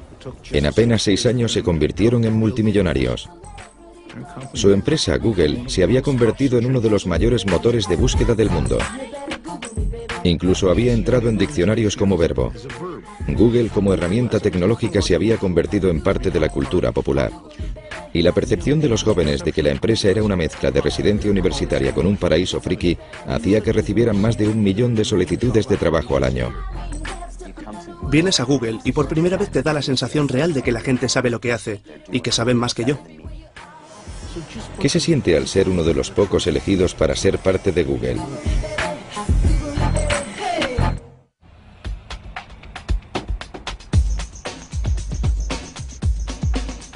El Googleplex, como llaman a las instalaciones de Google sus usuarios, está creado para hacerles sentir los mejores y los más inteligentes. Merecedores de comida gratis, un servicio subvencionado de masajista, lavandería gratuita y una barbería sobre ruedas. Creo que una de las mejores cosas de Larry y Sergi es que fueron muy inteligentes y muy brillantes, pero creo que de lo mejor que han hecho es asegurarse de estar rodeados de la gente más inteligente y brillante que pudieran encontrar. Google recibe más de un millón de solicitudes de empleo al año. Pero para entrar a formar parte de los 20.000 empleados de la empresa hay que pasar por un interminable laberinto de pruebas y entrevistas. Regin Seth, otro licenciado en informática de Stanford, había trabajado en empresas de alta tecnología antes de intentarlo en Google. Creo que me hicieron alrededor de 10 y 15 entrevistas. Y la última fue por fin con Larry. Así que un día vine y me senté en el despacho de Larry Page para tener una entrevista con él. Y me preguntó cosas difíciles. Yo no sabía cómo me había salido, pero al parecer le gusté lo bastante como para que me ofreciera un puesto. Entre los empleados más valorados de Google, justo por debajo de los ingenieros informáticos, están los APM, o managers de producto asociados. En gran medida, Google contrata a asociados como yo, recién licenciados, para poder inculcarles de alguna manera, como a mí, la forma en la que Google quiere que se comporten. La mayoría son jóvenes, recién licenciados con un expediente académico increíble y se les da una gran cantidad de responsabilidad y autoridad nada más empezar su carrera. No estamos dando mucha prioridad a eso ahora mismo, porque no pensamos que vaya a poder sustituir a la página de inicio desde el primer día. En la cosecha más reciente de APMs hay un canadiense, Jeff Harris. El trabajo que estoy haciendo es de manager de producto asociado, diseñado para gente con una formación técnica, pero que en el día a día no tiene por qué trabajar con código. Mi trabajo al final es comunicarme con los ingenieros que sí trabajan con código constantemente y asegurarme de que todos ellos estén trabajando para el mismo fin. Acabo de cumplir los 22. Creo que la mayor sorpresa al trabajar en Google es ver lo abierto que es respecto a todo lo que hacemos. Puedo mirar en nuestra web interna y ver detalles de todos los proyectos, algo genial desde el punto de vista organizativo. Puede que Google sea transparente internamente, pero como muchas otras compañías técnicas de Silicon Valley, es muy sensible sobre lo que pueden informar los extraños. Tanto el código en las pantallas de los ordenadores como los garabatos de las pizarras que parecen estar por todas partes. Creemos que hay que tener pizarras por todas partes porque eso fomenta la creatividad.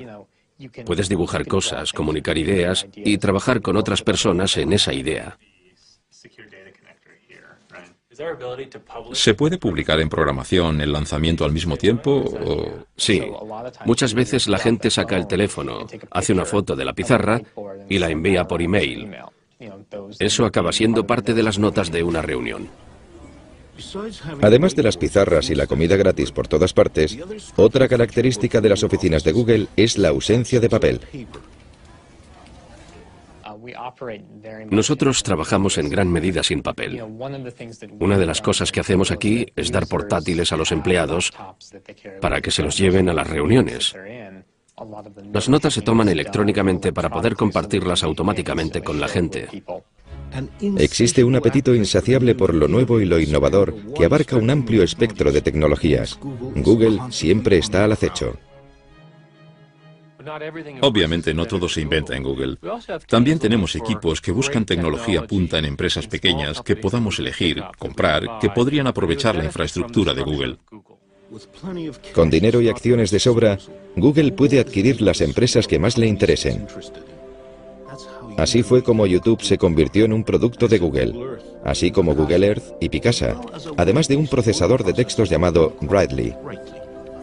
Writely era un procesador de textos online. Lo abrías como una página web y funcionaba como un Word. Google se fijó en él porque estaba consiguiendo fama.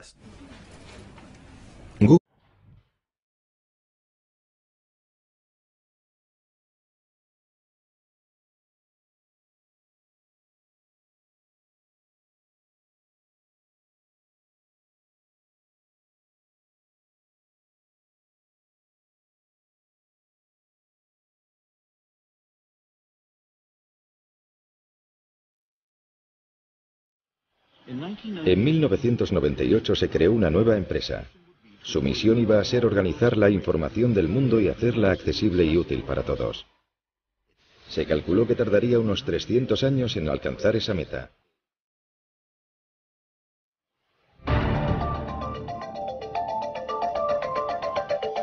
Dentro de Google. Las empresas de éxito empiezan con metas ambiciosas. Y no cabe duda de que la meta de Google de organizar toda la información del mundo de manera útil era ambiciosa. Y comenzamos con Internet. Pero nuestra visión va más allá de Internet. Nosotros lo vemos abarcando toda nuestra comunicación, la forma de pensar, porque hay mucha información. Google puede haber comenzado como un simple motor de búsqueda, pero hoy día con aplicaciones como Android, Chrome, Wave, Picasa, Google Apps, YouTube, Google Ocean y ahora su propio teléfono móvil se ha convertido en el corazón de Internet. Este tsunami tecnológico se vierte casi cada día desde los equipos de desarrollo de todo el mundo.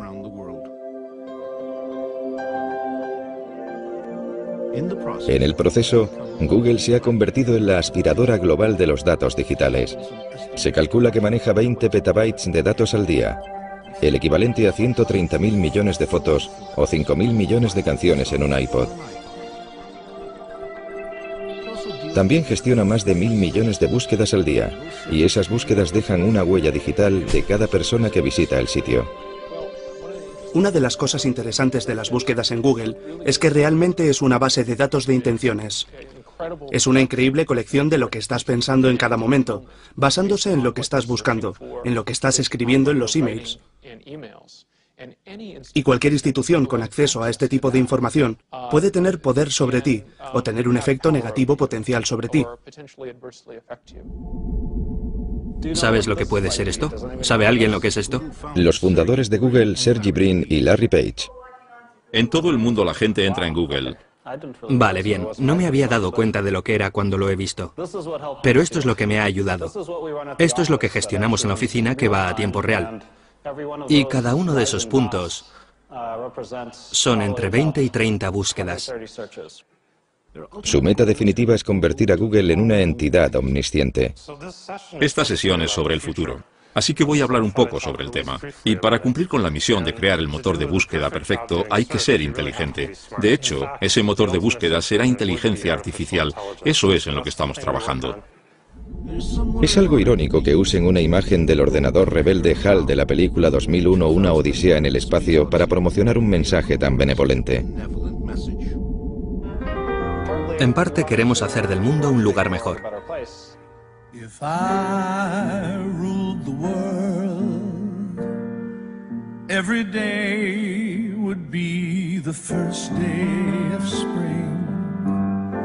En solo 10 años, Google se ha convertido en una de las mayores y más atípicas empresas de Silicon Valley.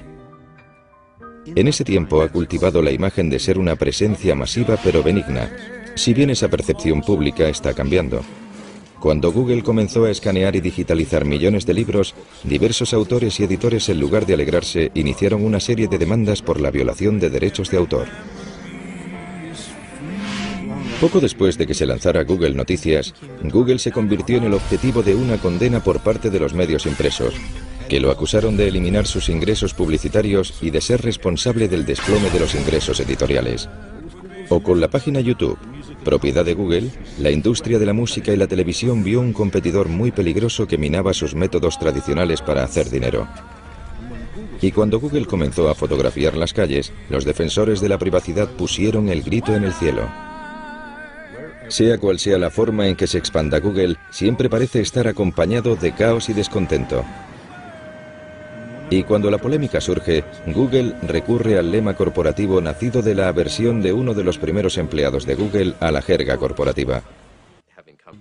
Yo venía de Intel y tenía la idea metida en la cabeza de que no quería trabajar en empresas grandes. Me interesaba algo un poco más provocativo, algo más interesante, algo que causara controversia. Y allí sentado en la reunión estaba intentando pensar en algo interesante y lo que me vino a la cabeza fue simplemente no seas malvado. Cuando llegué pensé que era una broma. Pensé que era una historia de marketing interno de la empresa y un día estaba sentado en la sala, nunca lo olvidaré. Estábamos hablando de publicidad y uno de los ingenieros, Ron, dio un puñetazo en la mesa y dijo, eso es ser malvado. Y de repente se hizo el silencio. Era como si todo el mundo hubiera saltado por la mesa y se hubiera escondido debajo. Y de repente centró la conversación en si este cambio en concreto era positivo o negativo para los clientes.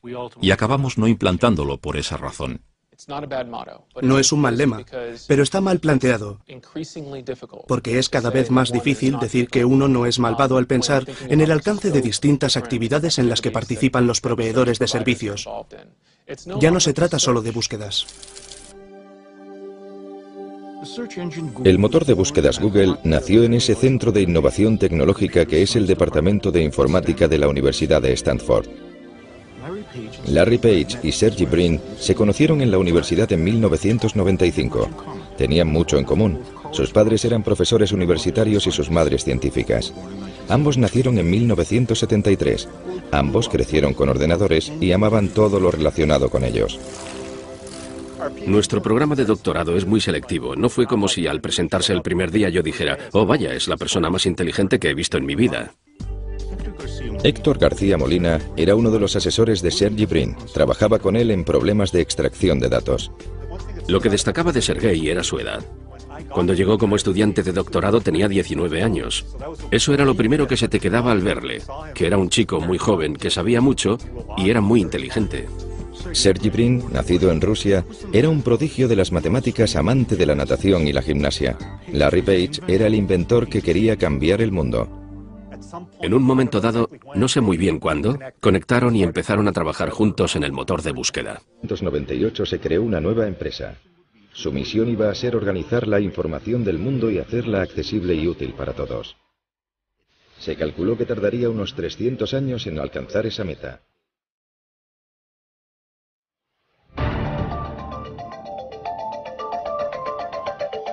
Dentro de Google.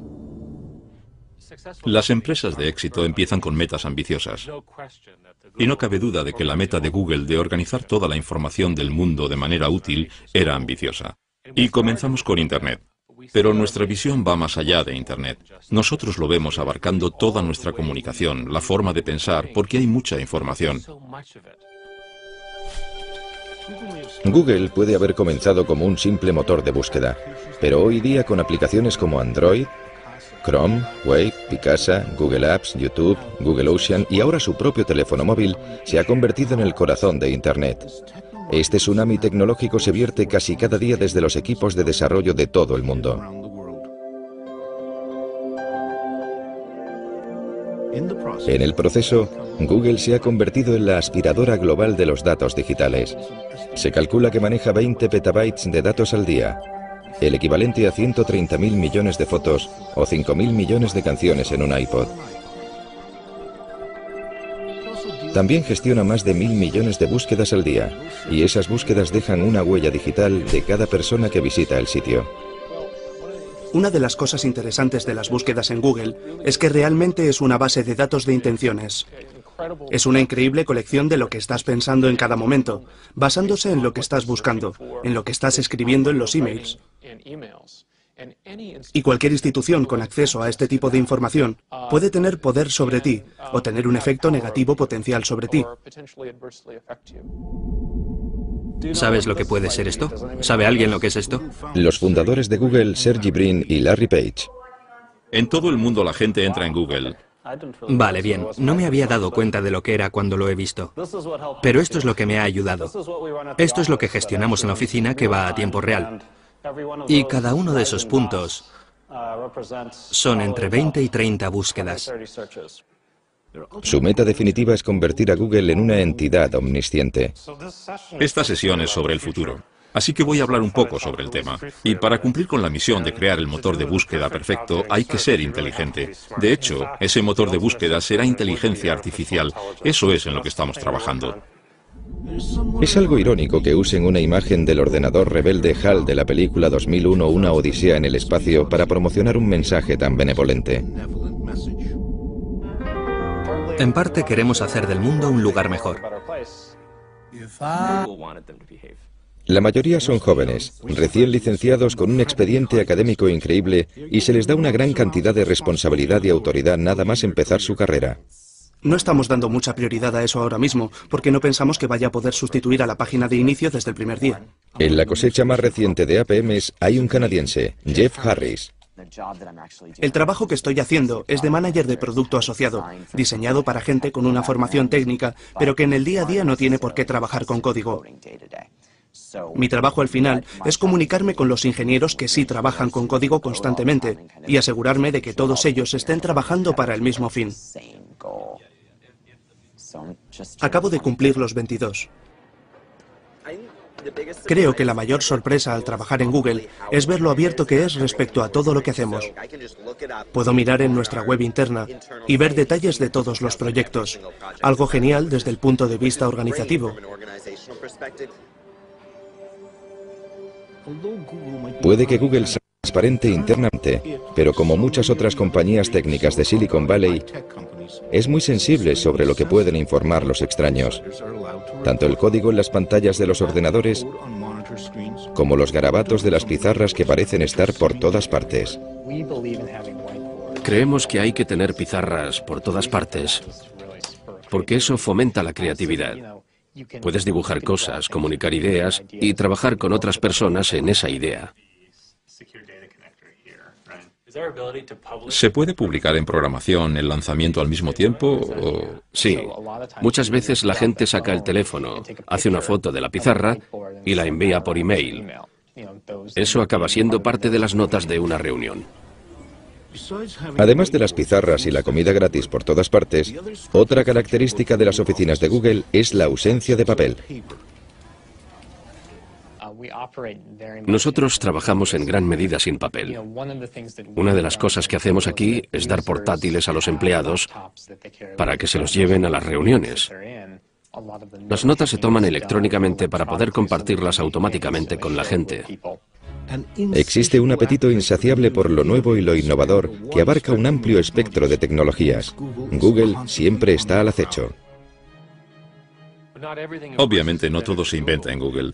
También tenemos equipos que buscan tecnología punta en empresas pequeñas que podamos elegir, comprar, que podrían aprovechar la infraestructura de Google. Con dinero y acciones de sobra, Google puede adquirir las empresas que más le interesen. Así fue como YouTube se convirtió en un producto de Google, así como Google Earth y Picasa, además de un procesador de textos llamado Writely. Writely era un procesador de textos online. Lo abrías como una página web. No, fluye un río de datos. Aquí están los correos electrónicos, las fotos, la música, los vídeos, los mapas y las búsquedas que han hecho de Google el gran recolector de información. Google no quiere divulgar cuántas granjas de servidores tiene por todo el mundo, pero se rumorea que hay alrededor de 30, todas conectadas digitalmente y firmemente plantadas en tierra. Pero eso podría cambiar. Google ha enviado la patente para crear centros de datos en alta mar.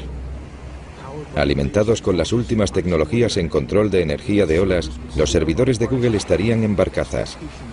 La expectativa es que los servidores marinos sean mucho más baratos de mantener, ya que desde luego no habría que pagar impuestos de propiedad inmobiliaria. Todavía queda por desarrollar el modelo, pero Google es una corporación a la que le gusta ir rápido en lo que respecta a la tecnología punta. No obstante, se tomaron su tiempo para abrir las oficinas en China. El crecimiento del uso de Internet en China es increíble. En 2009 los usuarios de Internet eran más numerosos que toda la población de Estados Unidos.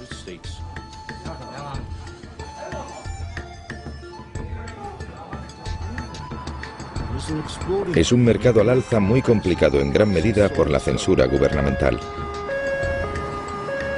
Tardamos en entrar en China. Tardamos porque nos preocupaban sus leyes de protección de contenido.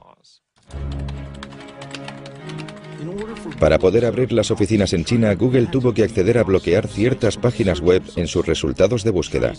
El gobierno es quien decide quién atraviesa el cortafuegos chino. Para dirigir Google en China, consiguieron a Kai Fu Lee, un alto ejecutivo de Microsoft que había estado al cargo de sus operaciones en China. En 2005, Kai Fu Lee se encontró en el papel de Nugler o novato en Google. Cuando entré en Google, usé la palabra shock para describir lo que vi. Y creo que fue una combinación de cosas, una combinación de los valores de Google y lo joven y feliz que era la empresa. Mi meta es que el ambiente en la oficina de China sea lo más parecido posible al ambiente de Mountain View. Es imposible que sea exactamente igual, porque la cultura china y la americana son muy distintas. Nada separa más a estas culturas que los usuarios reales de Internet. El usuario medio en China tiene 25 años, mientras que en los Estados Unidos es de 42. La diferencia es sustancial y los patrones de uso son muy distintos.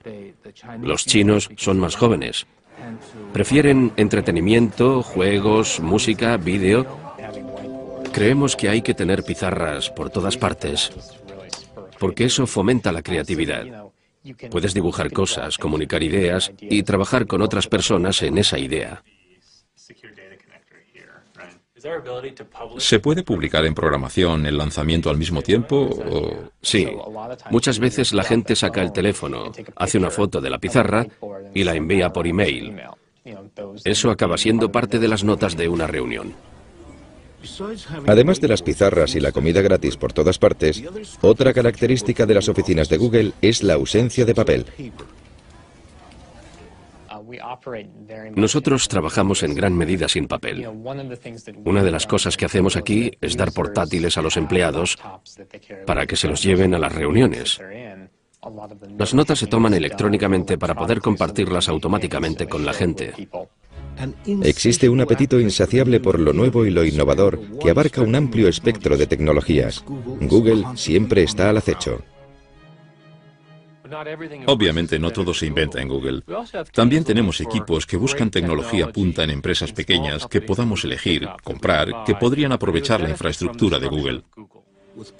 Con dinero y acciones de sobra, Google puede adquirir las empresas que más le interesen.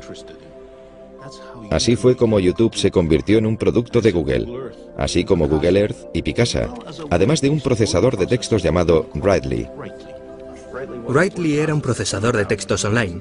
Lo abrías como una página web y funcionaba como un Word. Google se fijó en él porque estaba consiguiendo fama. Google compró Writely y contrató a sus fundadores para que lo siguieran desarrollando.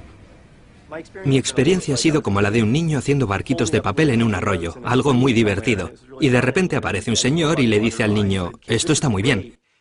Toma este montón de planchas de acero y este ejército de soldadores y hazme un batallón de buques de guerra. Writely se ha introducido en Google Docs, un procesador que mueve datos del ordenador personal del usuario a los servidores de Google. Es un poco raro. Es raro. Ahora soy un señor de 42 años con la barba canosa. No soy tan mayor, pero aquí hay un porcentaje del 90%, no sé. No sé lo que es. Aquí hay muchos ingenieros jóvenes. No es que me importe, para mí es interesante. Creo que todo el mundo llega a un momento en su carrera en el que todo le parece obvio. Me gusta el ambiente técnico de la empresa. No me intimida. Soy un programador muy productivo y trabajador. Me encanta el código. Todos me temen. Así que no me molesta. No estaba aquí cuando lo fundaron, pero mi percepción del concepto de fundación en la empresa es que querían hacer cosas y ver las cosas desde el punto de vista de los ingenieros. Acabo de cumplir los 22. Creo que la mayor sorpresa al trabajar en Google es ver lo abierto que es respecto a todo lo que hacemos. Puedo mirar en nuestra web interna y ver detalles de todos los proyectos, algo genial desde el punto de vista organizativo.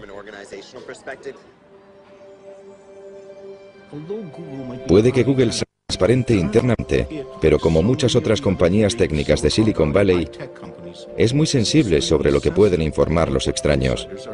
Tanto el código en las pantallas de los ordenadores como los garabatos de las pizarras que parecen estar por todas partes.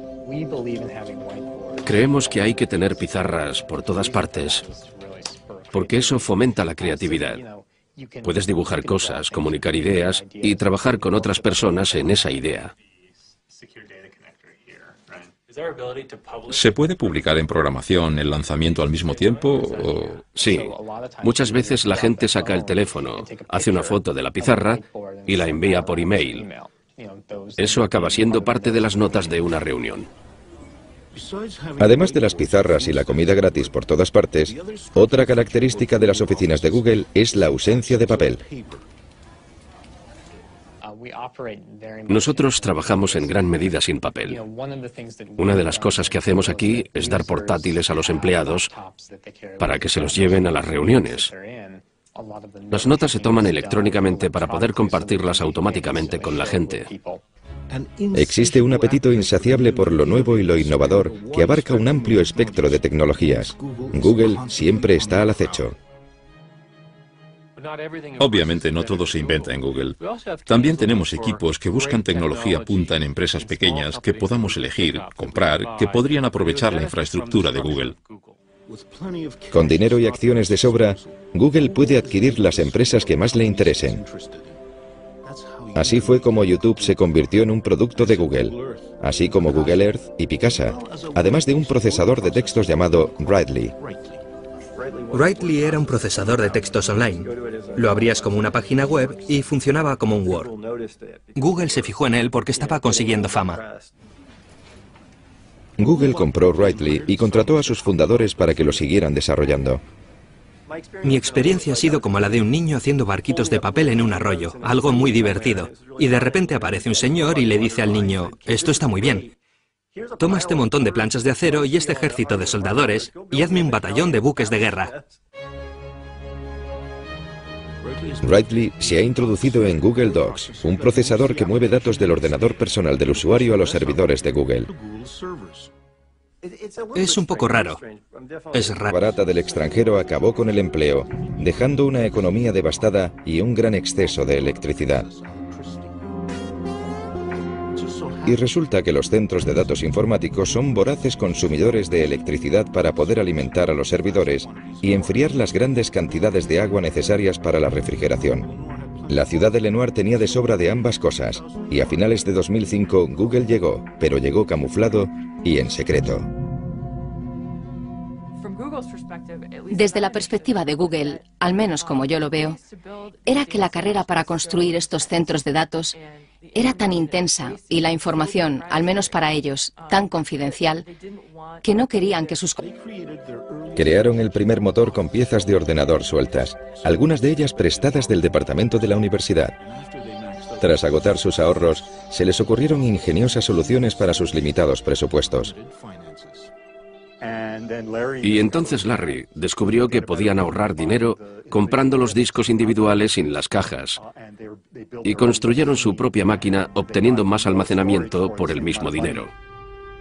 Con una estructura hecha con bloques de juguete y la salsa de su algoritmo secreto, al que llamaron Backrap, elaboraron un revolucionario motor de búsqueda. Se veía enseguida que el orden de las páginas era mucho mejor que el que estaba ofreciendo Altavista. A mediados de los 90, Altavista, como casi todos los buscadores, solo buscaba texto, ordenando los resultados según la cantidad de veces que aparecía la palabra clave. El motor de búsqueda de Larry y Sergi era mucho más sofisticado, gracias a un algoritmo matemático que se fijaba en la cantidad de links de entrada y salida de las páginas web. Cuantos más links, mayor era el rango. La primera búsqueda que hice en Google fue tipo de cambio canadiense. Y me dio exactamente la información necesaria relacionada con ese concepto. Y odio usar esta expresión, pero me quedé de piedra por el hecho de que podía encontrar justo lo que quería rápidamente. Creo que se dieron cuenta de que trabajar en este proyecto en el contexto universitario no les daba el alcance y la escala que realmente necesitaban para que funcionara de verdad. Así que dijeron, dejemos de estudiar de momento, creemos la empresa, pongámosla en marcha y luego volvemos y terminamos la investigación. Larry y Sergi se preparaban para abandonar Stanford y crear su empresa que para entonces ya habían registrado como Google, un término matemático mal deletreado que equivale al número 1 elevado a 100. Mientras, seguían asistiendo a clases de informática. Y presentaron unos trabajos que habían hecho sobre el motor de búsqueda y claro, dado mi interés, quise formar parte de ello. Google obtuvo su primer empleado, Craig Silverstein, otro estudiante de doctorado. El que todo le parece obvio. Me gusta el ambiente técnico de la empresa. No me intimida. Soy un programador muy productivo y trabajador. Me encanta el código. Todos me temen. Así que no me molesta. No estaba aquí cuando lo fundaron, pero mi percepción del concepto de fundación en la empresa es que querían hacer cosas y ver las cosas desde el punto de vista de los ingenieros. Desde esa perspectiva, la eficacia quizás sea la directriz principal de un ingeniero. Hacer una nueva selección. Abres un documento de texto en Gmail y te da error. Casi todos los equipos hacen esto cada mañana. Hay una reunión general. Es muy breve, dura unos 10 minutos. No hablamos durante más de un minuto. El lápiz es la caracola del señor de las moscas, ¿te acuerdas? El que tenga lápiz tiene la palabra. Por eso son reuniones muy eficaces. Se tarda cinco minutos en contarle a todo el equipo lo que va a pasar en el día. Otra reunión en la que los miembros del equipo de Google Docs hablan de sus problemas es en el paseo semanal Brightly. Creo que es importante hacer grandes cosas para cambiar el mundo. Creo que eso es lo que me gusta de Google. Queremos cambiar el mundo, queremos hacer grandes cosas. ¿Qué tiene de malo el algoritmo que tienes? El tipo estuvo editándolo ocho horas y el final y el principio están mal. Vale, no, no, no pasa nada. Tratas con decenas de millones de usuarios y grandes centros de datos y grandes máquinas. Es muy divertido. Para los aficionados a la informática, todo esto comenzó realmente en 1977 en un garaje de Silicon Valley, cuando dos ex estudiantes universitarios empezaron una empresa llamada Apple y lanzaron una revolución, la revolución del ordenador personal. El poder de este aparato se desató con todo su potencial en millones de hogares y oficinas de todo el mundo, cambiándolo todo. Pero ahora más que nunca, tras un cuarto de siglo en nuestras vidas, el ordenador personal ya no tiene ese atractivo original que tenía al principio. Google ha puesto sus miras en lanzar otra revolución, eliminar la necesidad de tener ordenador personal. Quiere almacenar todos los datos posibles en sus propios servidores. Una de las cosas que creo que no se aprecian desde el principio, incluido Stanford, y que se les daba genial, es minimizar costes al crear sistemas informáticos. Y han seguido teniendo esa habilidad de proporcionar una gran potencia informática a un coste relativamente bajo. Desde el inicio, Google ha hecho que sea una prioridad fabricar lo más barato posible en materia de servidores y almacenamiento para gestionar las búsquedas de Internet. Y con el crecimiento de Internet, ha crecido la necesidad de más capacidad informática. Google crea grandes centros de datos. Usamos componentes de ordenadores personales. problemas médicos Van a detectar los brotes de gripe. Van a poder mejorar las intervenciones sanitarias. Y así morirá menos gente. Cuando Google lanzó su OPA, Larry y Sergi escribieron personalmente una carta explicando sus aspiraciones futuras. Google no es una empresa convencional y no pretendemos serlo. La misión de Google es recoger todos los datos del mundo y hacerlos accesibles y útiles. Y hacerlos en 300 años yendo más allá de la búsqueda en sitios de Internet. Tanto fotografiando calles como digitalizando libros o convirtiendo dispositivos móviles en portales de Internet. O creando el mayor depósito de vídeo del planeta en su propia nube, Google sigue siendo un fenómeno tecnológico. Pero su futuro está en algo bastante poco científico la confianza. Eso es lo que hace que les demos nuestros datos para que los mantengan alejados de hackers y espías del gobierno. La confianza de que no van a dar mal uso nuestra información y de que estará a la altura de su lema, no seas malvado.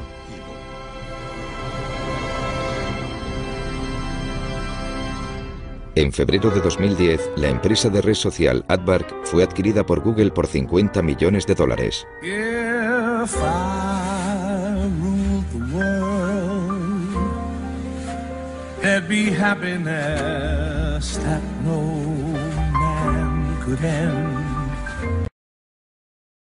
Google compró Rightly y contrató a sus fundadores para que lo siguieran desarrollando.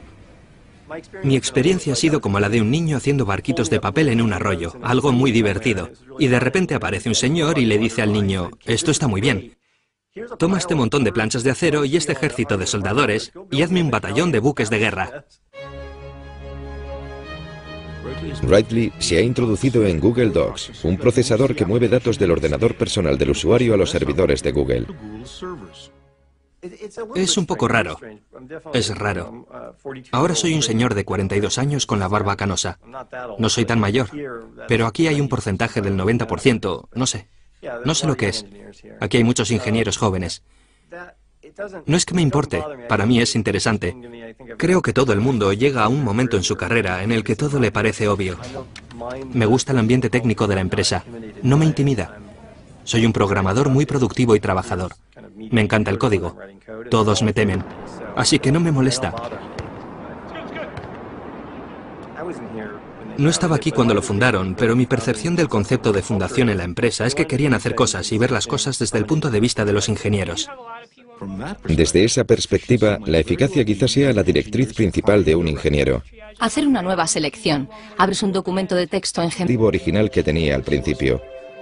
Google ha puesto sus miras en lanzar otra revolución, eliminar la necesidad de tener ordenador personal. Quiere almacenar todos los datos posibles en sus propios servidores. Una de las cosas que creo que no se aprecian desde el principio, incluido Stanford, y que se les daba genial, es minimizar costes al crear sistemas informáticos. Y han seguido teniendo esa habilidad de proporcionar una gran potencia informática a un coste relativamente bajo. Desde el inicio, Google ha hecho que sea una prioridad fabricar lo más barato posible en materia de servidores y almacenamiento para gestionar las búsquedas de Internet. Y con el crecimiento de Internet, ha crecido la necesidad de más capacidad informática. Google crea grandes centros de datos. Usamos componentes de ordenadores personales y luego construimos sistemas especializados para poder gestionar la gran escala necesaria. La escala es vital para Google. No solo tiene acceso a una potencia casi ilimitada, sino que quizá lo más importante es que ha acumulado una ingente cantidad de datos, datos que se pueden utilizar para pruebas a escalas inusitadas para los nuevos ingenieros informáticos. Mi compañero y yo estábamos hablando de unas ideas y estábamos barajando algo que más tarde se convirtió en algo parecido a Google Bookmarks. Hicimos algunos cálculos y vimos que sería alrededor de 4 petabytes de datos aproximadamente. Tampoco es mucho. Y esa frase, 4 petabytes de datos tampoco es mucho, es algo que un mes antes de entrar a trabajar en Google me habría sorprendido mucho oír saliendo de mi boca. Esos nada menos que 4 petabytes son el equivalente a 4 millones de gigabytes, cifras tan largas que es casi imposible para los mortales llegar a entenderlas. Como la memoria aumenta en capacidad y se reduce en precio, Google está pasando a algo llamado computación en nube. La idea de este concepto es coger toda la información y ponerla en un servidor donde los profesionales la gestionen. El problema es que hoy tenemos todo guardado en los ordenadores. Se nos cae, lo rompemos, lo borramos, es un desastre. ¿Por qué no poner todo lo importante en otro sitio, que esté seguro, que esté bajo control? Está disponible siempre que lo necesitas en todos tus dispositivos, donde quiera que estés. El traslado a este concepto está iniciando una revolución en nuestra forma de comunicarnos, de trabajar, de jugar e incluso de vivir. La gente se pregunta qué va a pasar con la información personal, con los registros bancarios, con la información sanitaria. Obviamente no todo se inventa en Google. También tenemos equipos que buscan tecnología punta en empresas pequeñas que podamos elegir, comprar, que podrían aprovechar la infraestructura de Google. Con dinero y acciones de sobra, Google puede adquirir las empresas que más le interesen. Así fue como YouTube se convirtió en un producto de Google, así como Google Earth y Picasa, además de un procesador de textos llamado Writely. Writely era un procesador de textos online. Lo abrías como una página web y funcionaba como un Word. Google se fijó en él porque estaba consiguiendo fama. Google compró Writely y contrató a sus fundadores para que lo siguieran desarrollando. Mi experiencia ha sido como la de un niño haciendo barquitos de papel en un arroyo, algo muy divertido. Y de repente aparece un señor y le dice al niño, esto está muy bien. Toma este montón de planchas de acero y este ejército de soldadores y hazme un batallón de buques de guerra. Writely se ha introducido en Google Docs, un procesador que mueve datos del ordenador personal del usuario a los servidores de Google. Es un poco raro. Es raro. Ahora soy un señor de 42 años con la barba canosa. No soy tan mayor, pero aquí hay un porcentaje del 90%, no sé. No sé lo que es. Aquí hay muchos ingenieros jóvenes. No es que me importe, para mí es interesante. Creo que todo el mundo llega a un momento en su carrera en el que todo le parece obvio. Me gusta el ambiente técnico de la empresa. No me intimida. Soy un programador muy productivo y trabajador. Me encanta el código. Todos me temen. Así que no me molesta. No estaba aquí cuando lo fundaron, pero mi percepción del concepto de fundación en la empresa es que querían hacer cosas y ver las cosas desde el punto de vista de los ingenieros. Desde esa perspectiva, la eficacia quizás sea la directriz principal de un ingeniero. Hacer una nueva selección. Abres un documento de texto en Gmail y te da error. Casi todos los equipos hacen esto cada mañana. Hay una reunión general. Es muy breve, dura unos 10 minutos. No hablamos durante más de un minuto. El lápiz es la caracola del señor de las moscas, ¿te acuerdas? El que tenga lápiz tiene la palabra. Por eso son reuniones muy eficaces. Se tarda cinco minutos en contarle a todo el equipo lo que va a pasar en el día. Otra reunión en la que los miembros del equipo de Google Docs hablan de sus problemas es en el paseo semanal Brightly. Creo que es importante hacer grandes cosas para cambiar el mundo. Creo que eso es lo que me gusta de Google. Queremos cambiar el mundo, queremos hacer grandes cosas. ¿Qué tiene de malo el algoritmo que tienes? El tipo estuvo editándolo ocho horas y el final y el principio están mal. Vale, no, no, no pasa nada. Tratas con decenas de millones de usuarios y grandes centros de datos y grandes máquinas. Es muy divertido. Para los aficionados a la información, Quise formar parte de ello. Google obtuvo su primer empleado, Craig Silverstein, otro estudiante de doctorado. Al principio éramos tres, y parecía que eso iba a ser así por mucho tiempo.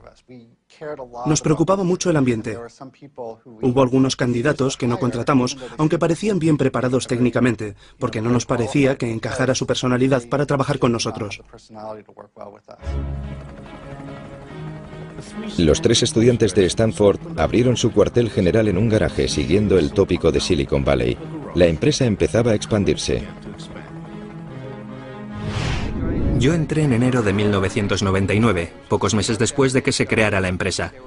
Había otras cuatro personas en la empresa, incluidos Larry y Sergi en ese momento, y alquilaban la mitad de la casa a alguien que todavía vivía allí, y que ahora es el vicepresidente de Google. Y los ordenadores, todo el mundo trabajaba en despachos, o dormitorios más bien, y el garaje estaba incluido. Y creo que ahí teníamos la impresora, y una mesa de ping-pong. Pero no toda la empresa estaba en el garaje. Claro que trabajábamos en el garaje. Yo me aseguré de que así fuera. Era un día al mes o quizá dos días al mes. Pero yo me empeñaba en que de vez en cuando fuéramos al garaje y trabajáramos allí. Yo quería poder decirle a la gente en un futuro que habíamos empezado en un garaje, así que quiero que conste que empezamos en un garaje, solo que el garaje lindaba con una casa que tenía habitaciones. Cuando Google creció demasiado para el garaje, se trasladó su cuartel general a un espacio de oficinas normal en el centro de Palo Alto. En esa época estábamos en Palo Alto. Era como una ciudad-restaurante. Mi meta era ir a uno distinto cada noche. Cenábamos por ahí casi siempre. Y lo cierto es que también comíamos al mediodía fuera. La empresa se expandía rápidamente y pronto se trasladaron de nuevo, pero esta vez tenían menos restaurantes alrededor. Larry y Sergi decidieron que sería más eficaz y rentable tener su propia cocina con su propio chef. El elegido tenía un currículum en el que constaba haber sido el cocinero del grupo Grateful Dead. Al principio me ofrecieron acciones. Yo estaba muy reacio. Hablé con mi padre del tema. Oye, papá, hay unos tipos que quieren que les dé dinero por acciones. Una empresa privada. Y me dijo, es un timo, no les creas. No les des ni un céntimo. Al contrario que otros motores de búsqueda, la página de inicio de Google era limpia y eficaz, sin molestos anuncios de publicidad. Larry Page y Sergey Brin vieron cómo su motor de búsqueda Google se hacía más y más popular, pero todavía no estaba dando dinero real y no tenían un plan de negocios viable para que Google empezara a dar beneficios. Nuestros fundadores decidieron que íbamos a aguantar todo lo posible sin meter publicidad. Pero creo que la idea brillante llegó cuando pensaron, ¿por qué no tenemos anuncios que sean simplemente texto y que no tengan imágenes móviles ni nada que distraiga? Basándose en la... Y de repente aparece un señor y le dice al niño, esto está muy bien. Toma este montón de planchas de acero y este ejército de soldadores y hazme un batallón de buques de guerra. Rightly se ha introducido en Google Docs, un procesador que mueve datos del ordenador personal del usuario a los servidores de Google. Es un poco raro. Es raro. Ahora soy un señor de 42 años con la barba canosa. No soy tan mayor, pero aquí hay un porcentaje del 90%, no sé. No sé lo que es. Aquí hay muchos ingenieros jóvenes. No es que me importe, para mí es interesante. Creo que todo el mundo llega a un momento en su carrera en el que todo le parece obvio. Me gusta el ambiente técnico de la empresa. No me intimida. Soy un programador muy productivo y trabajador. Me encanta el código. Todos me temen. Así que no me molesta. No estaba aquí cuando lo fundaron, pero mi percepción del concepto de fundación en la empresa es que querían hacer cosas y ver las cosas desde el punto de vista de los ingenieros. Desde esa perspectiva, la eficacia quizás sea la directriz principal de un ingeniero. Hacer una nueva selección. Abres un documento de texto en Gmail y te da error. Casi todos los equipos hacen esto cada mañana. Hay una reunión general.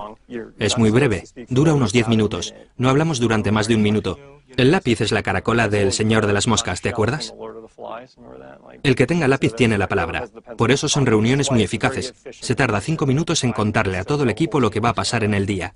Otra reunión en la que los miembros del equipo de Google Docs hablan de sus problemas es en el paseo semanal Brightly. Creo que es importante hacer grandes cosas para cambiar el mundo. Creo que eso es lo que me gusta de Google. Queremos cambiar el mundo, queremos hacer grandes cosas. ¿Qué tiene de malo el algoritmo que tienes? El tipo estuvo editándolo ocho horas y el final y el principio están mal. Vale, no, no, no pasa nada. Tratas con decenas de millones de usuarios y grandes centros de datos y grandes máquinas. Es muy divertido. Para los aficionados a la informática, todo esto comenzó realmente en 1977 en un garaje de Silicon Valley, cuando dos ex estudiantes universitarios empezaron una empresa llamada Apple y lanzaron una revolución, la revolución del ordenador personal. El poder de este aparato se desató con todo su potencial en millones de hogares y oficinas de todo el mundo, cambiándolo todo. Pero ahora más que nunca, tras un cuarto de siglo en nuestras vidas, el ordenador personal ya no tiene ese atractivo original que tenía al principio.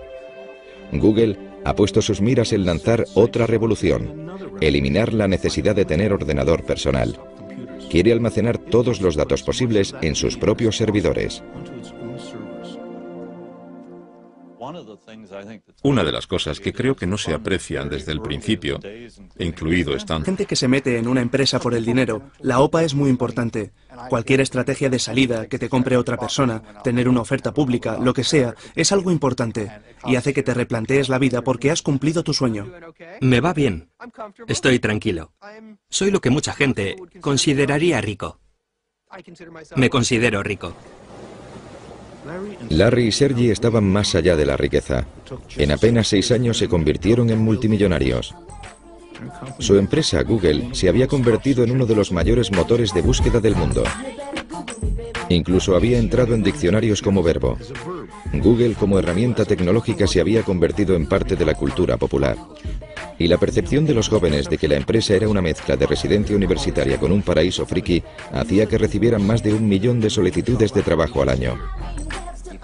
Vienes a Google y por primera vez te da la sensación real de que la gente sabe lo que hace y que saben más que yo. ¿Qué se siente al ser uno de los pocos elegidos para ser parte de Google?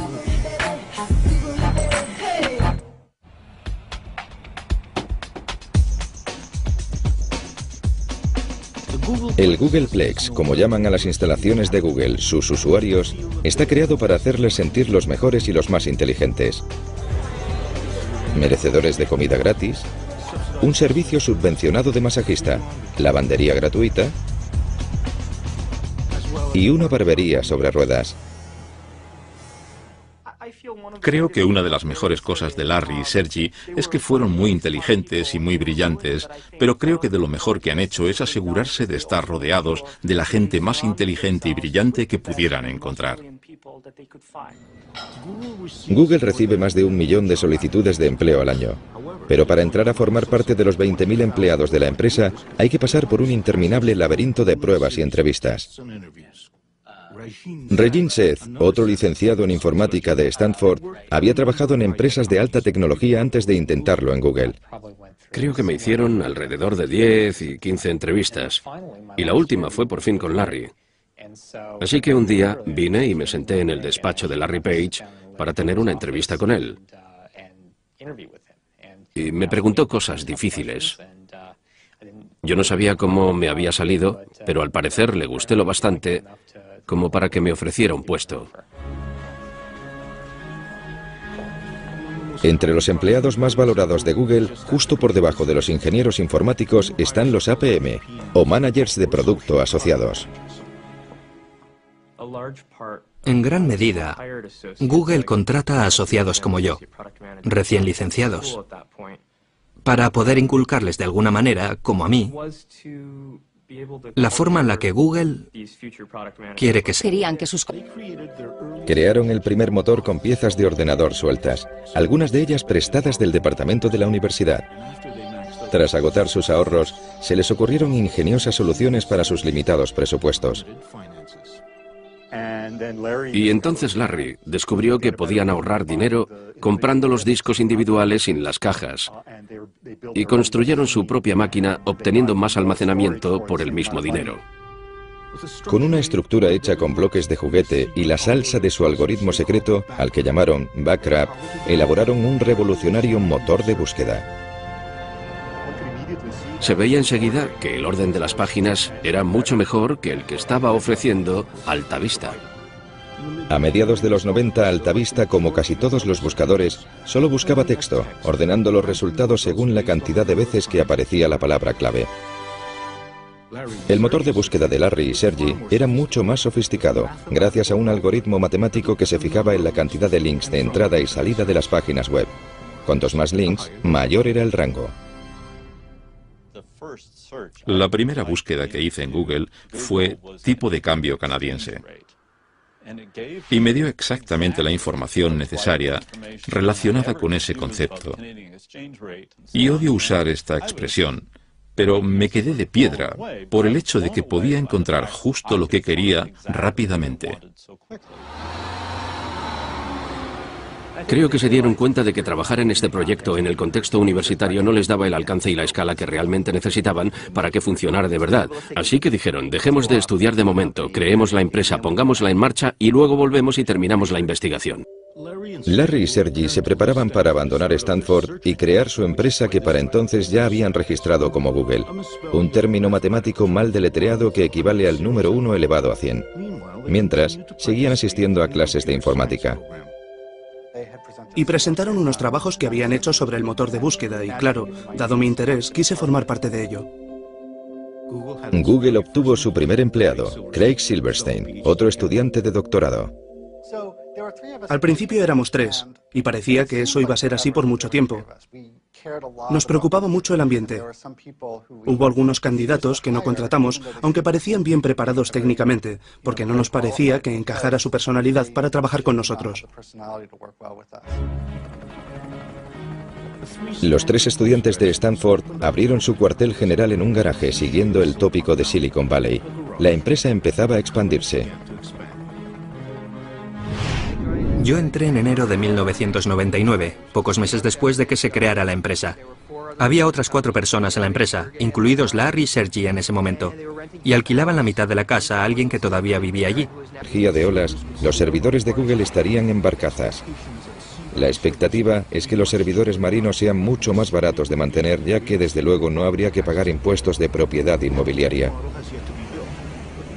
Todavía queda por desarrollar el modelo, pero Google es una corporación a la que le gusta ir rápido en lo que respecta a la tecnología punta. No obstante, se tomaron su tiempo para abrir las oficinas en China. El crecimiento del uso de Internet en China es increíble. En 2009 los usuarios de Internet eran más numerosos que toda la población de Estados Unidos.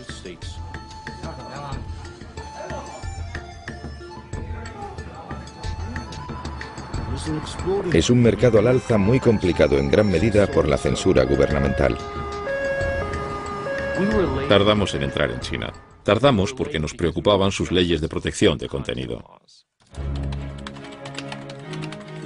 Para poder abrir las oficinas en China, Google tuvo que acceder a bloquear ciertas páginas web en sus resultados de búsqueda. El gobierno es quien decide quién atraviesa el cortafuegos chino. Para dirigir Google en China, consiguieron a Kai Fu Lee, un alto ejecutivo de Microsoft que había estado al cargo de sus operaciones en China. En 2005, Kai Fu Lee se encontró en el papel de Nugler o novato en Google. Cuando entré en Google, usé la palabra shock para describir lo que vi. Y creo que fue una combinación de cosas, una combinación de los valores de Google y lo joven y feliz que era la empresa. Mi meta es que el ambiente en la oficina de China sea lo más parecido posible al ambiente de Mountain View. Es imposible que sea exactamente igual, porque la cultura china y la americana son muy distintas. Nada separa más a estas culturas que los usuarios reales de Internet. El usuario medio en China tiene 25 años, mientras que en los Estados Unidos es de 42. La diferencia es sustancial y los patrones de uso son muy distintos. Los chinos son más jóvenes. Prefieren entretenimiento, juegos, música, vídeo hacen menos búsquedas y comercio electrónico. De la misma manera, cuando usan Internet, tienden a querer algo muy recargado y emocionante en oposición a las interfaces más sencillas. Los cibercafés están repletos de jóvenes y muchos de ellos están aquí porque en casa les prohibirían jugar a estos juegos y ver estas películas. Lo que no parece estar prohibido ni aquí ni en casa es descargar música ilegalmente.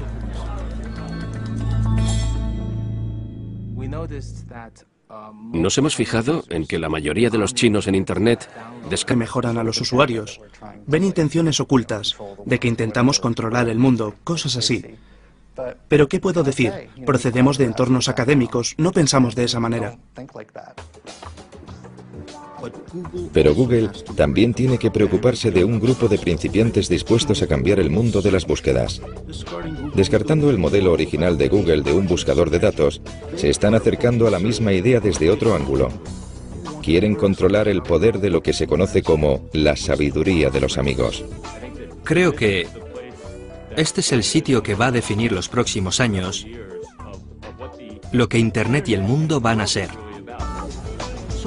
¿Por qué entonces algunos de los grandes representantes de la búsqueda social son ex trabajadores de Google listos a retar a su ex empresa?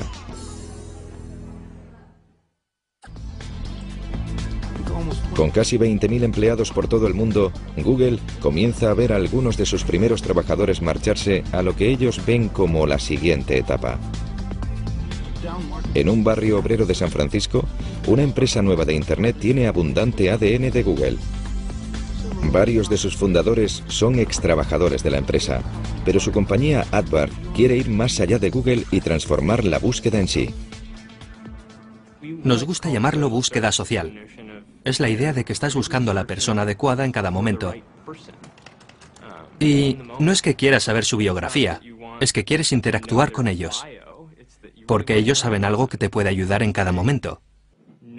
A veces no está escrito como tal en una página web, pero alguien en alguna parte sabe la respuesta. Y todos tenemos redes sociales. AdBark es simplemente una herramienta que te permite utilizarlas. No lejos de allí, en un centro industrial en Silicon Valley, hay otra empresa de redes sociales con su propia e impresionante lista de ex-Googles que incluye a Paul Buckett, el hombre que acuñó quizá atinadamente el famoso lema de Google, no seas malvado. Su pequeña empresa llamada FriendFeed está desarrollando un servicio de redes sociales que comparte y guarda lo que los amigos escuchan, leen y comentan en Internet. Ninguno sabemos lo que va a pasar, pero en muchos aspectos eso es lo divertido de crear una empresa. En una gran empresa, Puedo predecir fácilmente lo que va a pasar al año que viene, pero al crear una empresa no sabes lo que va a pasar mañana. El año que viene podría ser un gran éxito o un gran fracaso. Google ha estado observando a FriendFeed para una posible adquisición, pero antes de que FriendFeed llegara a su segundo año, fue engullida por una red social llamada Facebook. Se cree que por 50 millones de dólares. Facebook, fundada por un... Algo genial desde el punto de vista organizativo. Puede que Google sea transparente internamente, pero como muchas otras compañías técnicas de Silicon Valley, es muy sensible sobre lo que pueden informar los extraños. Tanto el código en las pantallas de los ordenadores como los garabatos de las pizarras que parecen estar por todas partes. Creemos que hay que tener pizarras por todas partes porque eso fomenta la creatividad. Puedes dibujar cosas, comunicar ideas y trabajar con otras personas en esa idea. ¿Se puede publicar en programación el lanzamiento al mismo tiempo? Sí. Muchas veces la gente saca el teléfono, hace una foto de la pizarra y la envía por email. Eso acaba siendo parte de las notas de una reunión. Además de las pizarras y la comida gratis por todas partes, otra característica de las oficinas de Google es la ausencia de papel. Nosotros trabajamos en gran medida sin papel. Una de las cosas que hacemos aquí es dar portátiles a los empleados para que se los lleven a las reuniones. Las notas se toman electrónicamente para poder compartirlas automáticamente con la gente. Existe un apetito insaciable por lo nuevo y lo innovador que abarca un amplio espectro de tecnologías. Google siempre está al acecho. Obviamente no todo se inventa en Google. También tenemos equipos que buscan tecnología punta en empresas pequeñas que podamos elegir, comprar, que podrían aprovechar la infraestructura de Google. Con dinero y acciones de sobra, Google puede adquirir las empresas que más le interesen. Así fue como YouTube se convirtió en un producto de Google, así como Google Earth y Picasa, además de un procesador de textos llamado Writely. Writely era un procesador de textos online. Lo abrías como una página web y funcionaba como un Word. Google se fijó en él porque estaba consiguiendo fama. Google compró Writely y contrató a sus fundadores para que lo siguieran desarrollando. Mi experiencia ha sido como la de un niño haciendo barquitos de papel en un arroyo, algo muy divertido. Y de repente aparece un señor y le dice al niño, esto está muy bien, Toma este montón de planchas de acero y este ejército de soldadores y hazme un batallón de buques de guerra. Writely se ha introducido en Google Docs, un procesador que mueve datos del ordenador personal del usuario a los servidores de Google. Es un poco raro. Es raro. Ahora soy un señor de 42 años con la barba canosa. No soy tan mayor, pero aquí hay un porcentaje del 90%, no sé. No sé lo que es. Aquí hay muchos ingenieros jóvenes. No es que me importe, para mí es interesante. Creo que todo el mundo llega a un 20% de tiempo. Y el personal técnico de la empresa tiene que, le animamos a que pase el 20% de su tiempo profesional con cosas que le parezcan interesantes a ellos, no a nosotros. El empleado número 23, Paul Bacate, creador del lema No seas malvado, fue también el ingeniero que en un solo día inventó Gmail, un programa de correo electrónico interno para usuarios de Google. Había muchas objeciones para crear Gmail, pero una de las principales es que con el correo electrónico no se podía hacer dinero. Pero había una idea por ahí que decía que quizás podríamos hacer publicidad personalizada. Por ejemplo, si te llega un mail sobre un viaje para esquiar, te salgan anuncios sobre equipos de esquí o guantes o algo relacionado. Decidió intentar escribir algo de código para ver si era posible que los ordenadores de Google escanearan los mensajes de Gmail y mostraran anuncios adecuados. Cuando llegué al día siguiente, la gente estaba muy exaltada con el tema. No todos para bien. Algunos lo consideraban una idea terrible. Lo que recuerdo de las reuniones, que fueron hace más de un año, es el constante debate sobre... Competidores se enteraran de lo que estaban haciendo. TJ Rohr es abogado y miembro del Consejo Municipal de Lenoir City. Él participó activamente en las negociaciones a puerta cerrada con Google. Nos daban datos que no podíamos contarle a nadie. Google tiene una actitud de o lo tomas o lo dejas. Estas son nuestras condiciones, si las quieres bien y si no, nada. Los desesperados funcionarios locales y estatales estaban ansiosos por llegar a un acuerdo que trajera a Google a este devastado condado. Le ofrecieron a Google una exención fiscal de 30 años en propiedades y equipo. En un periodo de 30 años, se calculaba que eran como 165 millones de dólares.